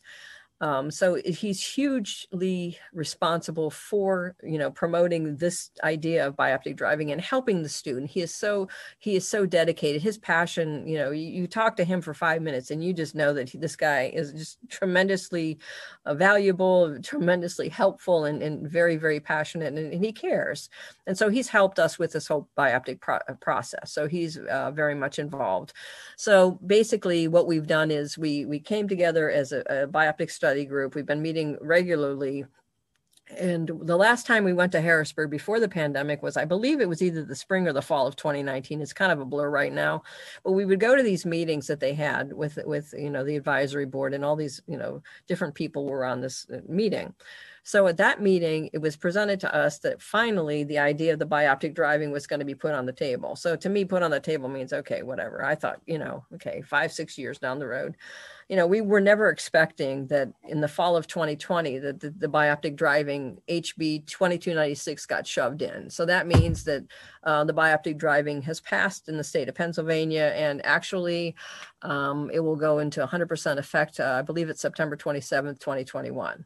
So it's not too far away. So between the time that it went into to um, action in 20 last fall until now, our team has been working with PennDOT. We've been talking about how are we going to get people up to speed to know what this means. You know, what are the regulations? What does everybody have to know? This kind of thing. This kind of thing. So, excuse me. What we did was we decided that we needed to have a seven uh, one hour uh, a week lecture series, which actually started today. So from 7 a.m. to 8 a.m. Uh, every Tuesday for seven weeks in a row, there will be lecture series. The first lecture was all on about vision, and Dr. Paul Freeman did that one this morning. Next Tuesday's lecture is the low vision evaluation. Uh, the, the guy, Dr. William Smith, who's a low vision optometrist that I work with, is going to do that one. Um, the next one is about the bioptic, and that's going to be delivered by Dr. Aaron Kenny, and then myself. The next two will be about uh, pre-driver readiness and the use of bioptic, and then the final two is going to be done by um, Amy Lane uh, with regard to uh, the driving aspect of the use of bioptic. So anyway so it's huge. It, it, it's it's a it's a win. Um, i think it's tremendously valuable. Again it goes back to that whole idea i've said before. You know we really want to encourage people to the best of their capacity so that they can become independent and, and, and be part of society and be part of the you know uh, you know be employed and, and have a self-worth and all these kind of things that employment gives you opportunities to to then engage in bigger things in your life and and you know have quality of life and all those kind of thing. So it's pretty exciting. So we can go to the next um, slide. So obviously, you know, it seems like a lot of you already know about vision. So uh, clearly the bioptic driver is uh, using the device because they have a loss of central vision and they can still use their peripheral vision. So it's important to, to really know that. And so when we're talking about the bioptic, we're just actually trying to help someone see in the distance uh, to en enhance their capacity because they've lost some central vision. Next. Um, this is the, uh, the video and hopefully it'll go quickly because I'm hoping it works for you.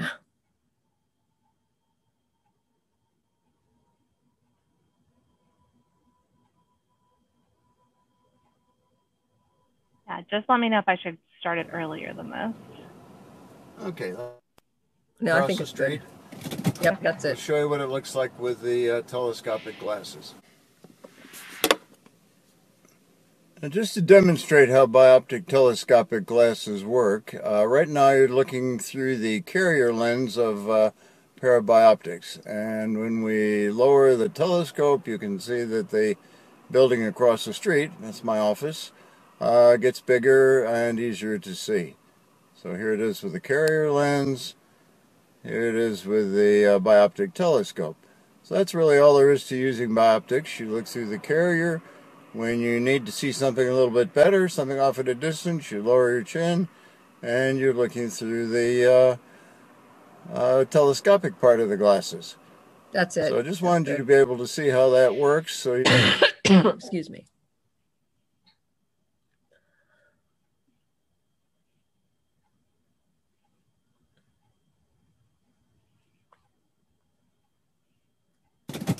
We'll show you what it looks like Sorry, with it's working there now. So basically, um, the vision standards that have been set in the House Bill 2296 include that the, the best corrected visual acuity has to be 2200 in the best corrected eye. Uh, the bioptic telescope correction can't be any greater than 6x. And um, basically, it starts at 1.7. Uh, and per Dr. Smith, you know, uh, I've been working with him for several years. He thinks about a 2 to 2.5x is probably going to be the best because, again, when you think about magnification, if you get something at 6x, that means the visual field is going to be really small. So that's, you know, something else to think about. And then again, um, I don't want to, to bore you with all the detail, but you have to, you know, be able to have 20, 50 daytime. Um, you know, 20, 40 daytime only with the possibility of night driving. So, there, there are some restrictions. Um, and we can go to the next one. And again, this is all spelled out uh, in in the um, H, you know, the 2296 House bill.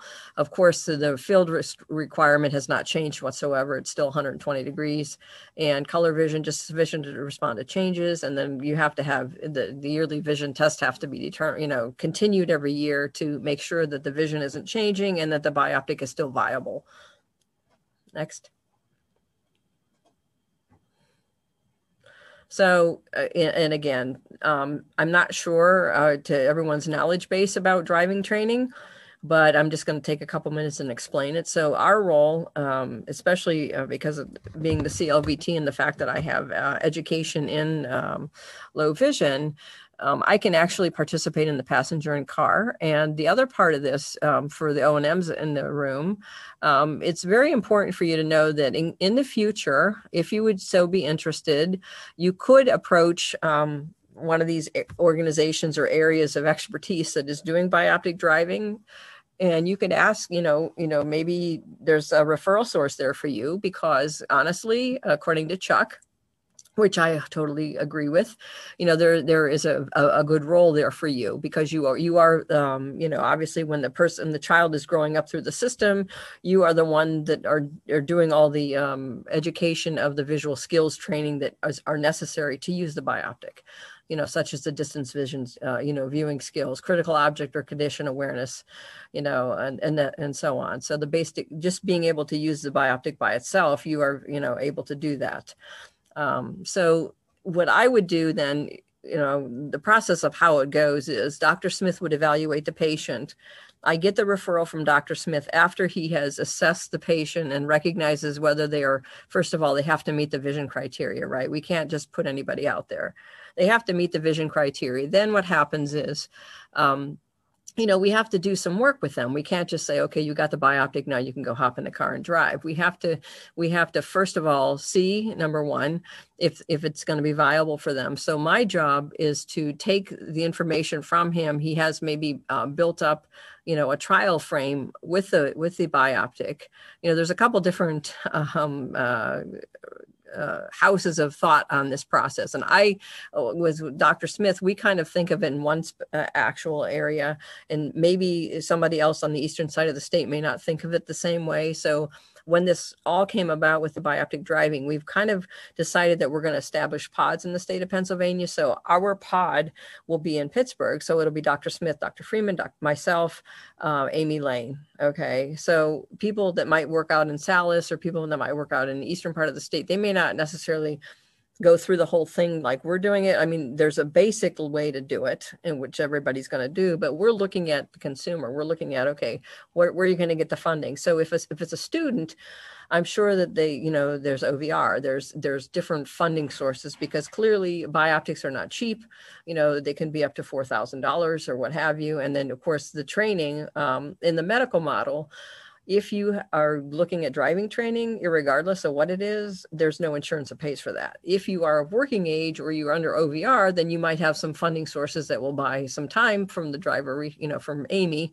So OVR is um, positioning to to help that person stay, you know, employed or get them a job, what have you, what have you. But if you're elderly and you don't fall into any of those categories, you have nobody to cover the money, you know. So it's like $120 an hour or what have you. So that's really important for you to know because this is one of the things that we're all coming up against. Well, there's no, who's going to pay for it, right? Who's going to pay for the time? Who's going to pay for the training? Who's going to pay for the device?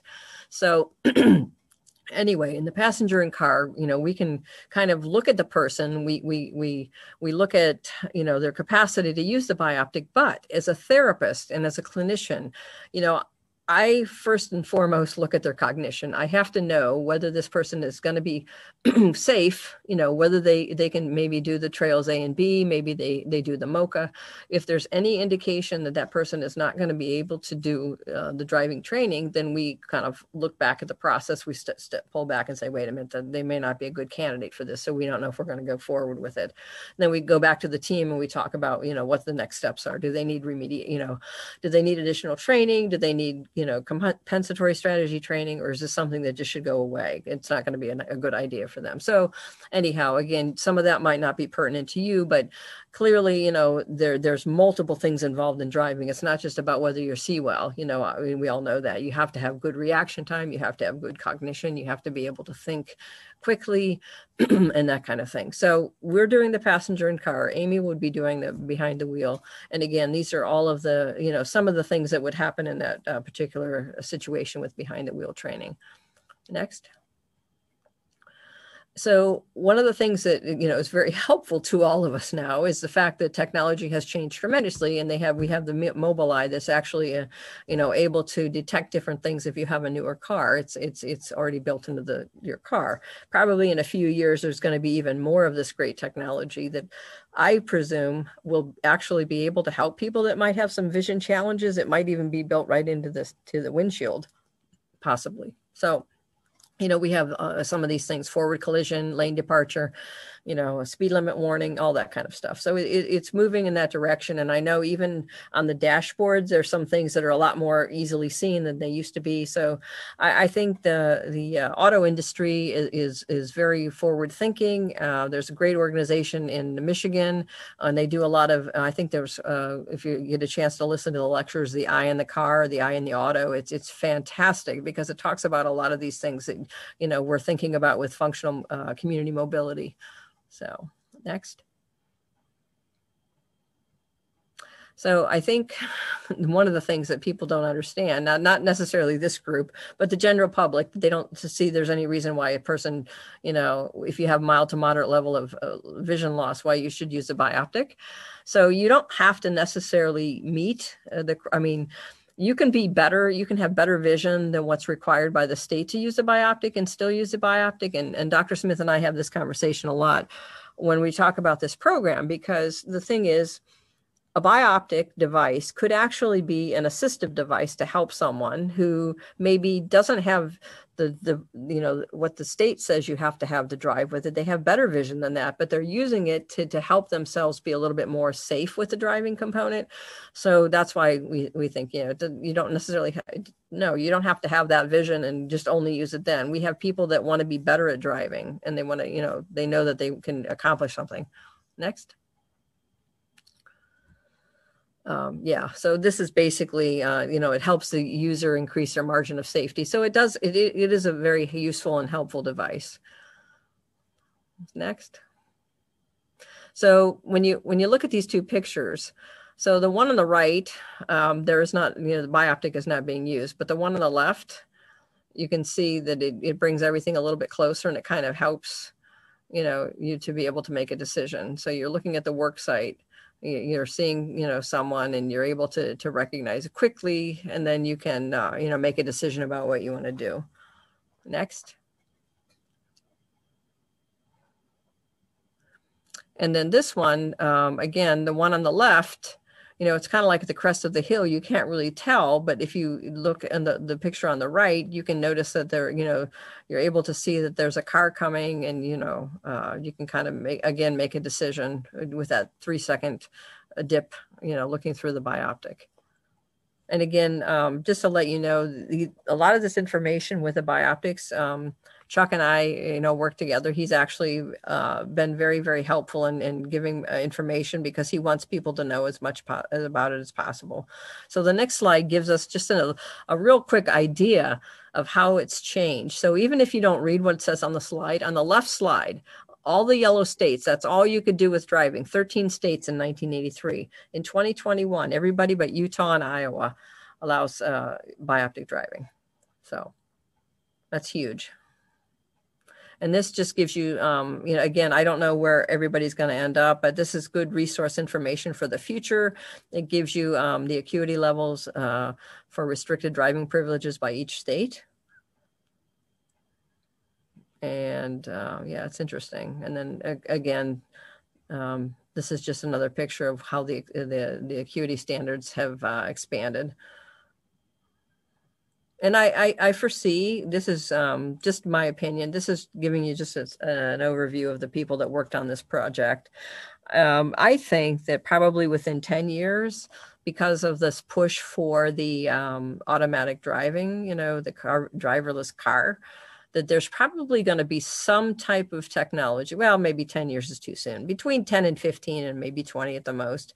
I think that there's going to be some kind of technology that might be able to be used in the car that can actually help someone who has the need for the bioptic now. And maybe it just comes into the windshield. Maybe maybe there's some way that the magnification occurs quickly. Who knows? But i, I think it's going to be different. So you know we're, we're, we're uh, on the road to a great journey so again, these are all the folks that worked on the uh, driving, uh, the work study committee. And again, if it wouldn't be for Chuck, I mean, he's very, very uh, approachable, tremendously helpful, and, and, and very kind. He's very much about helping uh, the student be able to be independent in driving. Next. So um, this is just for your information, just in case you have a student that's interested in what they have to be able to do. They have to, you know, meet all of these criteria. Um, and we kind of talked about that already. Uh, next. And again, this is again more information about the permit. So they have to they have to have the bioptic for three months, okay, um, including the certification of successful completion. They have to work with a, uh, a person such as myself or someone else in that role um, for the 10 hours of in front uh, seat passenger, you know, passenger and car instruction. And then they have to, um, you know, complete the pre-driver readiness, you know, learning all about the distance viewing skills, critical object and condition awareness skills, and basic bioptic use and then they have to apply for the, uh, the learner's permit. Next.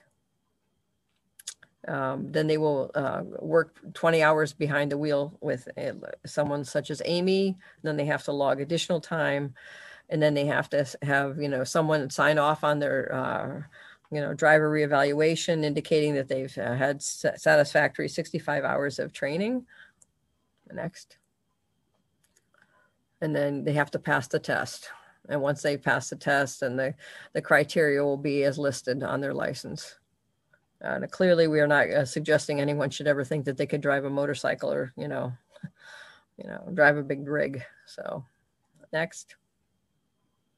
Um, and then again, this is just a little bit about the non-restriction. Um, you have to complete one year of uh, accident-free uh, and, and, moving violation free. And then you can go a reevaluation and you, um, again, for unrestricted uh, daytime privileges.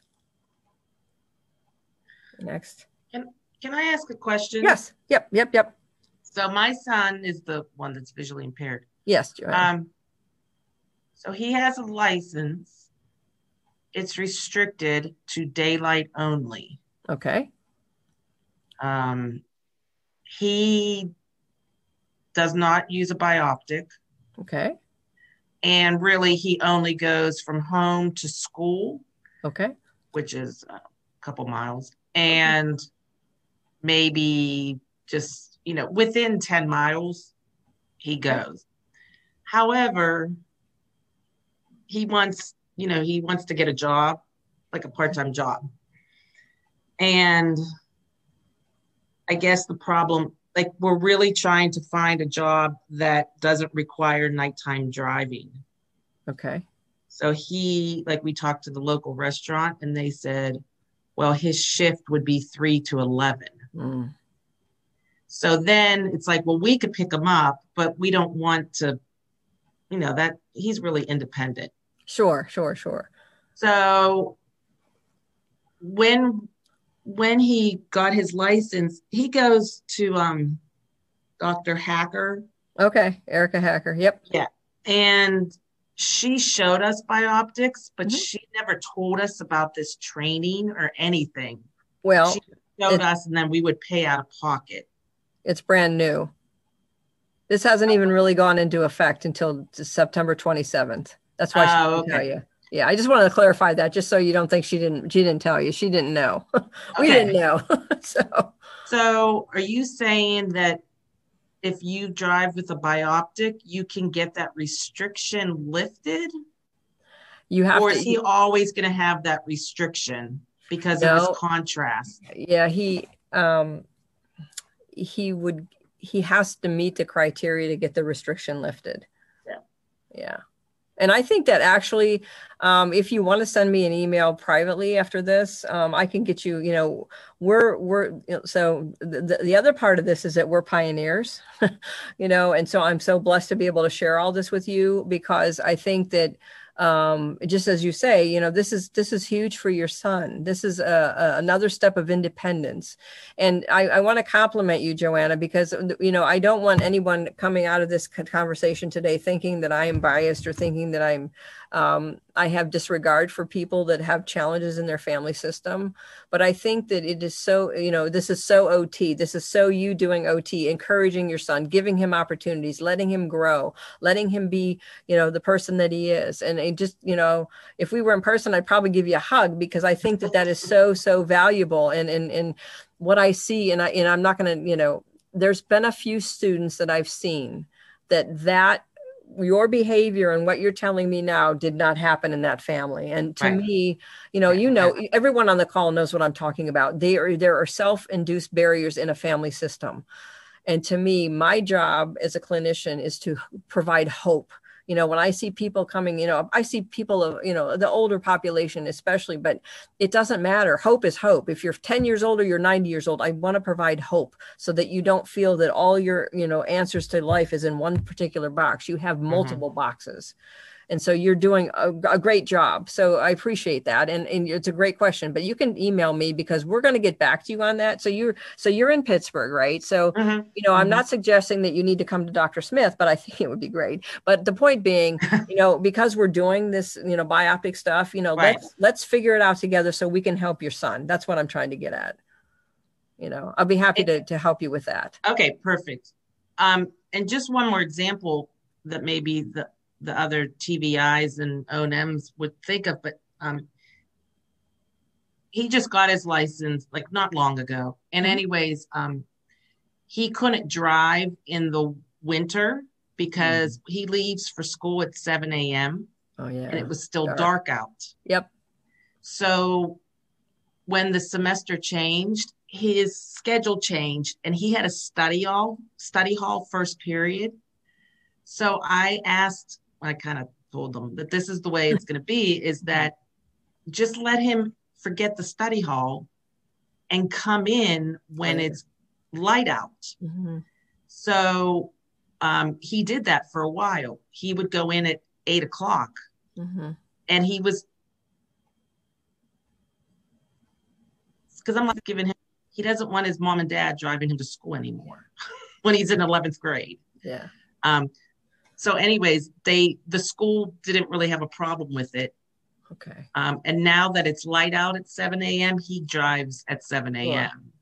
sure But there's always like ways around it. Mhm. But he did ask me, he said, next year, what am I going to do? Because I won't have a study hall first period. right So we have to like deal with this again sure next year. How is he going to get to school? Oh boy, that's my phone going off. Sorry. Uh, usually I don't get anybody calling me, especially when I'm a- an old fashioned phone here. Hold on a minute. I'm going to shut that phone off.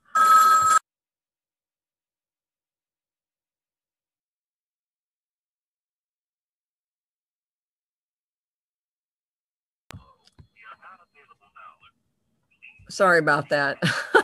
um, remember the story I told everyone about my father in law? Well, guess what?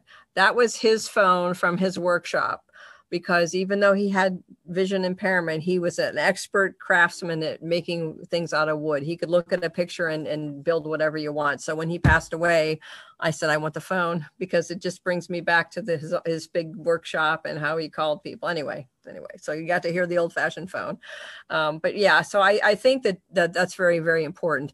And again, the pre-driver readiness is, you know, the O&M specialist, you know, that, you know, um, obviously travel skills, you know, I'm not going to do the travel skill part. I'm doing the the capacity for them to scan and to look forward and all that kind of stuff because you have to you definitely have to know how to to be able to use a bioptic. Um, and as Dr. Freeman said uh, even this morning, you know, just because a person can use a bioptic doesn't mean they can drive, and we know what that means. you know, and and obviously we're not going to um, pass somebody through a system unless it's quite evident that they are capable to be able to use that bioptic without flaw. So that's that's important. Um, so pre-driver readiness is really important. Next. And again, we can, yeah, kind of look at this. Um, for us, it's not just about um, the vision. Um, really, it's a it's about everything. It's about reaction time. It's about um, the capacity for the person to. Sorry about the phone. It's about the capacity for the person to make decisions, critical thinking, being able to be quick on your feet, being able to be, rea- you know, react, um, and also to identify a situation that could be, you know, dangerous. You know, how are you going to situational awareness? How are you going to be able to to identify that that's going to be a problem? Next.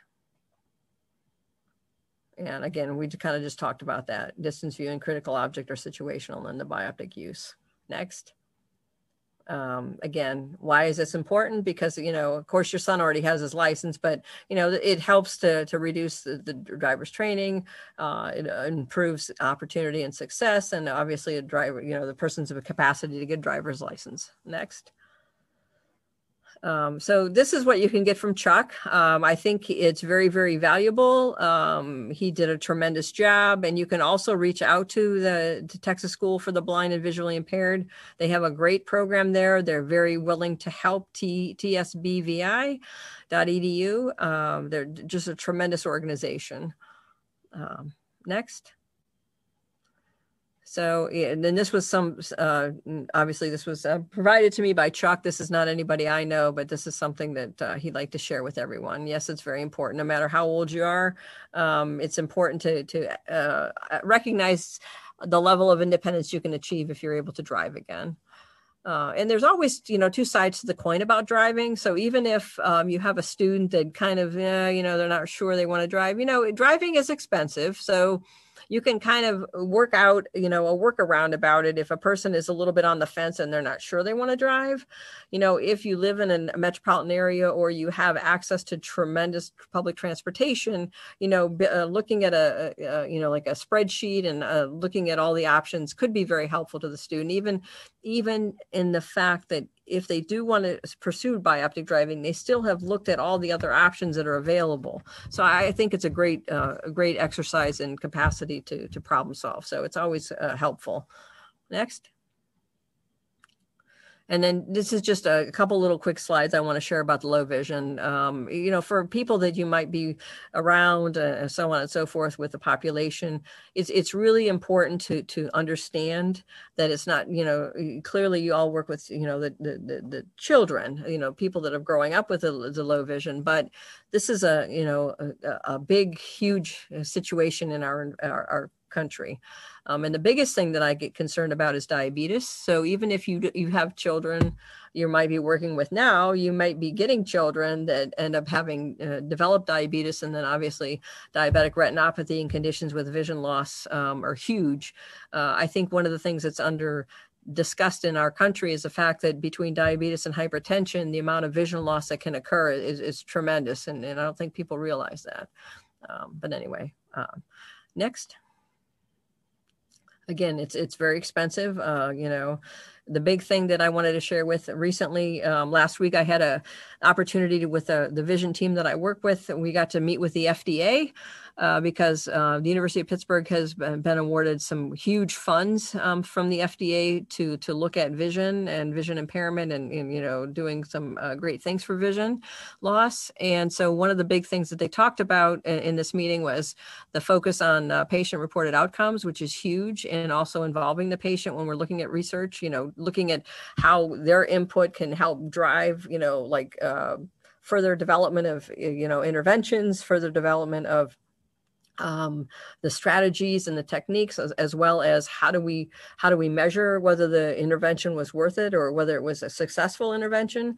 And then the other thing is um, one of the things that i did with a colleague of mine in our department uh, the last year we were awarded the beckwith foundation um, a grant during covid and we um, promoted the idea of telerehabilitation services for low vision um, using the ipads and so they also talked about how important, you know, looking at that concept is to to help um, the underserved. Next. And again, this is just a, a, for your information. Again, you're working with students that have vision impairment. And uh, obviously, you know, we, when we look at low vision, we kind of have three, I think, three different um, uh, travel sources, I guess is a good way to think about it, or three different veins of, of vision impairment. You have a child that has a genetic, uh, you know, deterioration of vision impairment, perhaps. You have a middle-aged person that might have gotten a traumatic injury, and then you have the older person that's dealing with um, age-related, uh, you know, vision impairment. But nevertheless, um, this gives you an overview of some of the things that we are concerning ourselves with. Uh, next slide. And again, for us, you know, we are a medical model, so we can uh, receive referrals from anyone on the left uh, with regard to low vision services. It didn't come about till about 2002 that we were allowed to take uh, referrals from optometrists. I think I mentioned that. Uh, next. And then this is what we've done in the past um, since I've been working with uh, UPMC in 2013. Uh, one of the very first patients, that's how I got involved with UAB. Uh, we were trained on how to um, treat this person that had the implantable miniature telescope. So basically, what that is, if you think about a person getting a cataract removed, basically, um, this was uh, during a cataract removal procedure where this um, uh, medical device was implanted. It is basically a 2.2x magnifier that goes into the eye where the cataract, you know, where the lens would be planted. And it has to be in uh, the obviously the worst seeing eye. And um, what happens is then when you train the person they have um, two different um, abilities they have a near ability with their right well the particular person had a right eye anyway so the, the implant eye would be the near vision and then um, the other the non-implant eye would be um, the distance vision. So it's a, it's a process of training a person, which is kind of you know challenging because your brain works a little bit different. So you have to really work at it um, and, and, you know, it has been tested and used, uh, you know, the FDA has uh, encouraged, you know, uh, the ability to be used. But the one thing I want to mention is even though it's a great product, maybe um, the concern that I have, again, when we talk about ma- manufacturing and presenting these types of devices to people, so you're giving hope to someone, right? But the problem with the device is that even though they have macular degeneration and this is getting implanted, the macular degeneration does not stop. So even though this is kind of like helping a person magnify things to see, you know, clearly they can still have scotomas develop and, and it doesn't fix, obviously fix the problem and it can actually, you know, things can change. So it, it's, it needs to be clear in the explanation to a person whenever they're undergoing a process like this. You know, they have to have 100% consent. They have to, in my opinion, they have to 100% understand what the outcome could be from this uh, research or this product or whatever. Because, you know, sometimes, you know, not everybody has the greatest intentions. And sometimes it's an intention of a manufacturer to get to the top and win the race. And it's not necessarily consideration of the patient. And it, it frustrates me. So I'm very much an advocate for the patient. But anyway, um, next.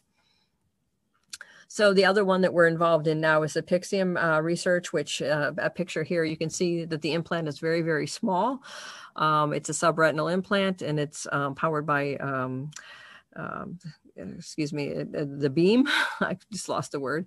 Uh, and the goal is to elicit functional artificial vision um, because of the uh, IR beam. Uh, you know, exciting the damaged retinal tissues. And it actually is having some outcome. It's very impressive.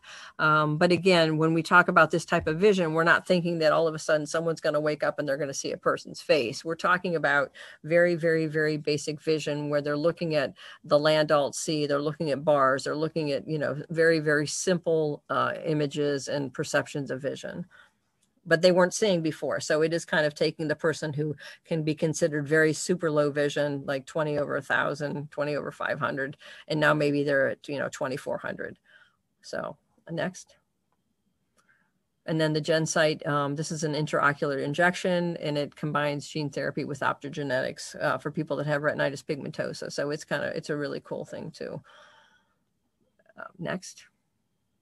So this is the, the and those two projects we are providing the rehabilitative services for, and this one also. So the Iris Vision study, that's the Iris Vision, that's the one that we're involved in in the occupational therapy department as well. And then the um, the iPad is what we did with the uh, Beckwith project, uh, you know, using telerehabilitative services. Next. And um, I know I've talked a lot. I'm very sorry. I'm very passionate about this. And I would, if anyone has any more questions, please, uh, it's time to fire them up. I feel bad that I've talked so long. My goodness, got four minutes, huh? I hope it was informative. And again, um, I think especially in the in the city of Pittsburgh. Again, I, I don't know. I presume that you know all about the big building. I presume that everyone knows about the Vision Restoration Tower that's being built and and what the the premise is there. Um, is a, is a collaborative effort with Dr. Sahel's group and, and, you know, the vision restoration team and, and occupational therapy and physical therapy and speech therapy. They're all going to be housed in that building. Um, I actually was part of uh, some of the planning committee for the space. Um, Dr. Smith and I actually went down to the space last week and we had our hard hats on and we were looking, it was, really impressive. I think it, for those of you who are staying in the city of Pittsburgh, I think we are um, about to be, uh, you know, we're already on the map, but I think, you know, this particular institution is replacing the steel industry. I think we're very lucky and we're very blessed. And by any means, if there's anybody that has questions in the future, if there's any way I can help you, please uh, don't hesitate to ask. I'll be happy to do so. And I appreciate, you know, all your time and your attention and we can go to the next yeah. slide. Um, and then just a couple of cool slides, mm-hmm. you know. And um, again, the last slide is uh, mostly about uh, resources. And again, most of everything. Oh, I wanted to mention one thing. So when you're talking about um, the, uh, you know, the, the uh, the abilities that you're each using, whether you're a TVI, whether you're an O&M specialist, whether you're the um, counselor. So there's a wonderful organization that, again, I listen to podcasts. Um, it's called bridgingapps.org. So if you come across that, if you have a moment to look that up, that that website is an organization of people that come together to try to help and vet apps that are very useful for people of all kinds. It's kind of like a universal build in that uh, that whole model there because they're looking at people that have vision impairment, people that have cognition impairment, people that have you know autism, people that have you know physical limitations, hearing limitations. And it's beautiful because they go through and they look at the apps and they say, well, yeah, this is okay. And most of them are free and something you know um, even the fun stuff. So there's a there's a great one on there if, if for the tvis who maybe work with children or it doesn't have to be children. I use it with the elderly. I think it's great. So a lot of times people miss the ability to do some of the fun stuff that they used to do. So example jigsaw puzzles. So now if you go to puzzlebug you know it's an app. It's free you can get it on an iPad and you can build a puzzle from a beautiful picture. It can either be four pieces, and the pieces are either traditional or ones that are easy for, for children that can't necessarily have good grasp. And then you can go from a, a puzzle of four pieces to a puzzle of 300 pieces. So again, that that website is just tremendously valuable, and I encourage you to get a chance to, to look at that. And also, if you um, uh, check out the um, uh, assistive technology at Easter Seals Crossroads. They, they, their podcasts are, are priceless. You know, the things that you learn. Um, I, I, learned just the other day about a reading uh, organization. So there's a guy that's using a, a gaming um, platform and so he's trying to help people that have dyslexia. So he's doing this gaming platform to help kids learn how to, to recognize words that are very familiar. Anyway so those are the kind of things that, that come across with the podcast. So i think it's very helpful if you like that kind of thing. But and do, does anybody have any questions? I know we're running out of time, but uh, I, I, hope that you found this valuable. And again, you know, I would love to learn about how everybody does when they're done with their programs, because again, just meeting you all tonight, I know wherever you go, you're going to think of Pittsburgh maybe as you got your education there, but you're going to change your little corner of the world by helping others as much as you can. And I'm, I'm glad I was able to give some information to you today. Thank you so much, Holly. I know a lot of this was was new to me. So I very much appreciate it. There's a lot of, I don't know if you can see the chat, but um, there's oh, yeah. a, a, lot of people expressing their appreciation oh. um, for your presentation tonight. I so, so thank you. It was wonderful.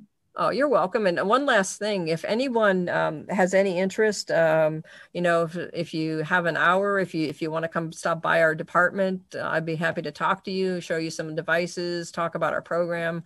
Uh, I know Shireen is very familiar with where I'm at, and she could give you a, a good uh, direction. Mm-hmm. Great. Well, that's a great offer. Thank you. You're very welcome. And uh, stay tuned. Pittsburgh's on the map. We're going to do a lot of wonderful things. And uh, again, I'll be yeah. happy to help um, uh, Joanna. Uh, you know, I'll be happy to help you with your son. Mm-hmm. Thank you. You're welcome. All right. Well, thank you so much. I think we, I, everyone has your contact information and can reach out, and um, and um, we will stay in touch. All righty. Thank you, everybody, okay. and good luck. And uh, let, take care. Bye now. Bye. Thank you, Holly. Oh, you're well. Oh, you're welcome. Bye-bye. Bye.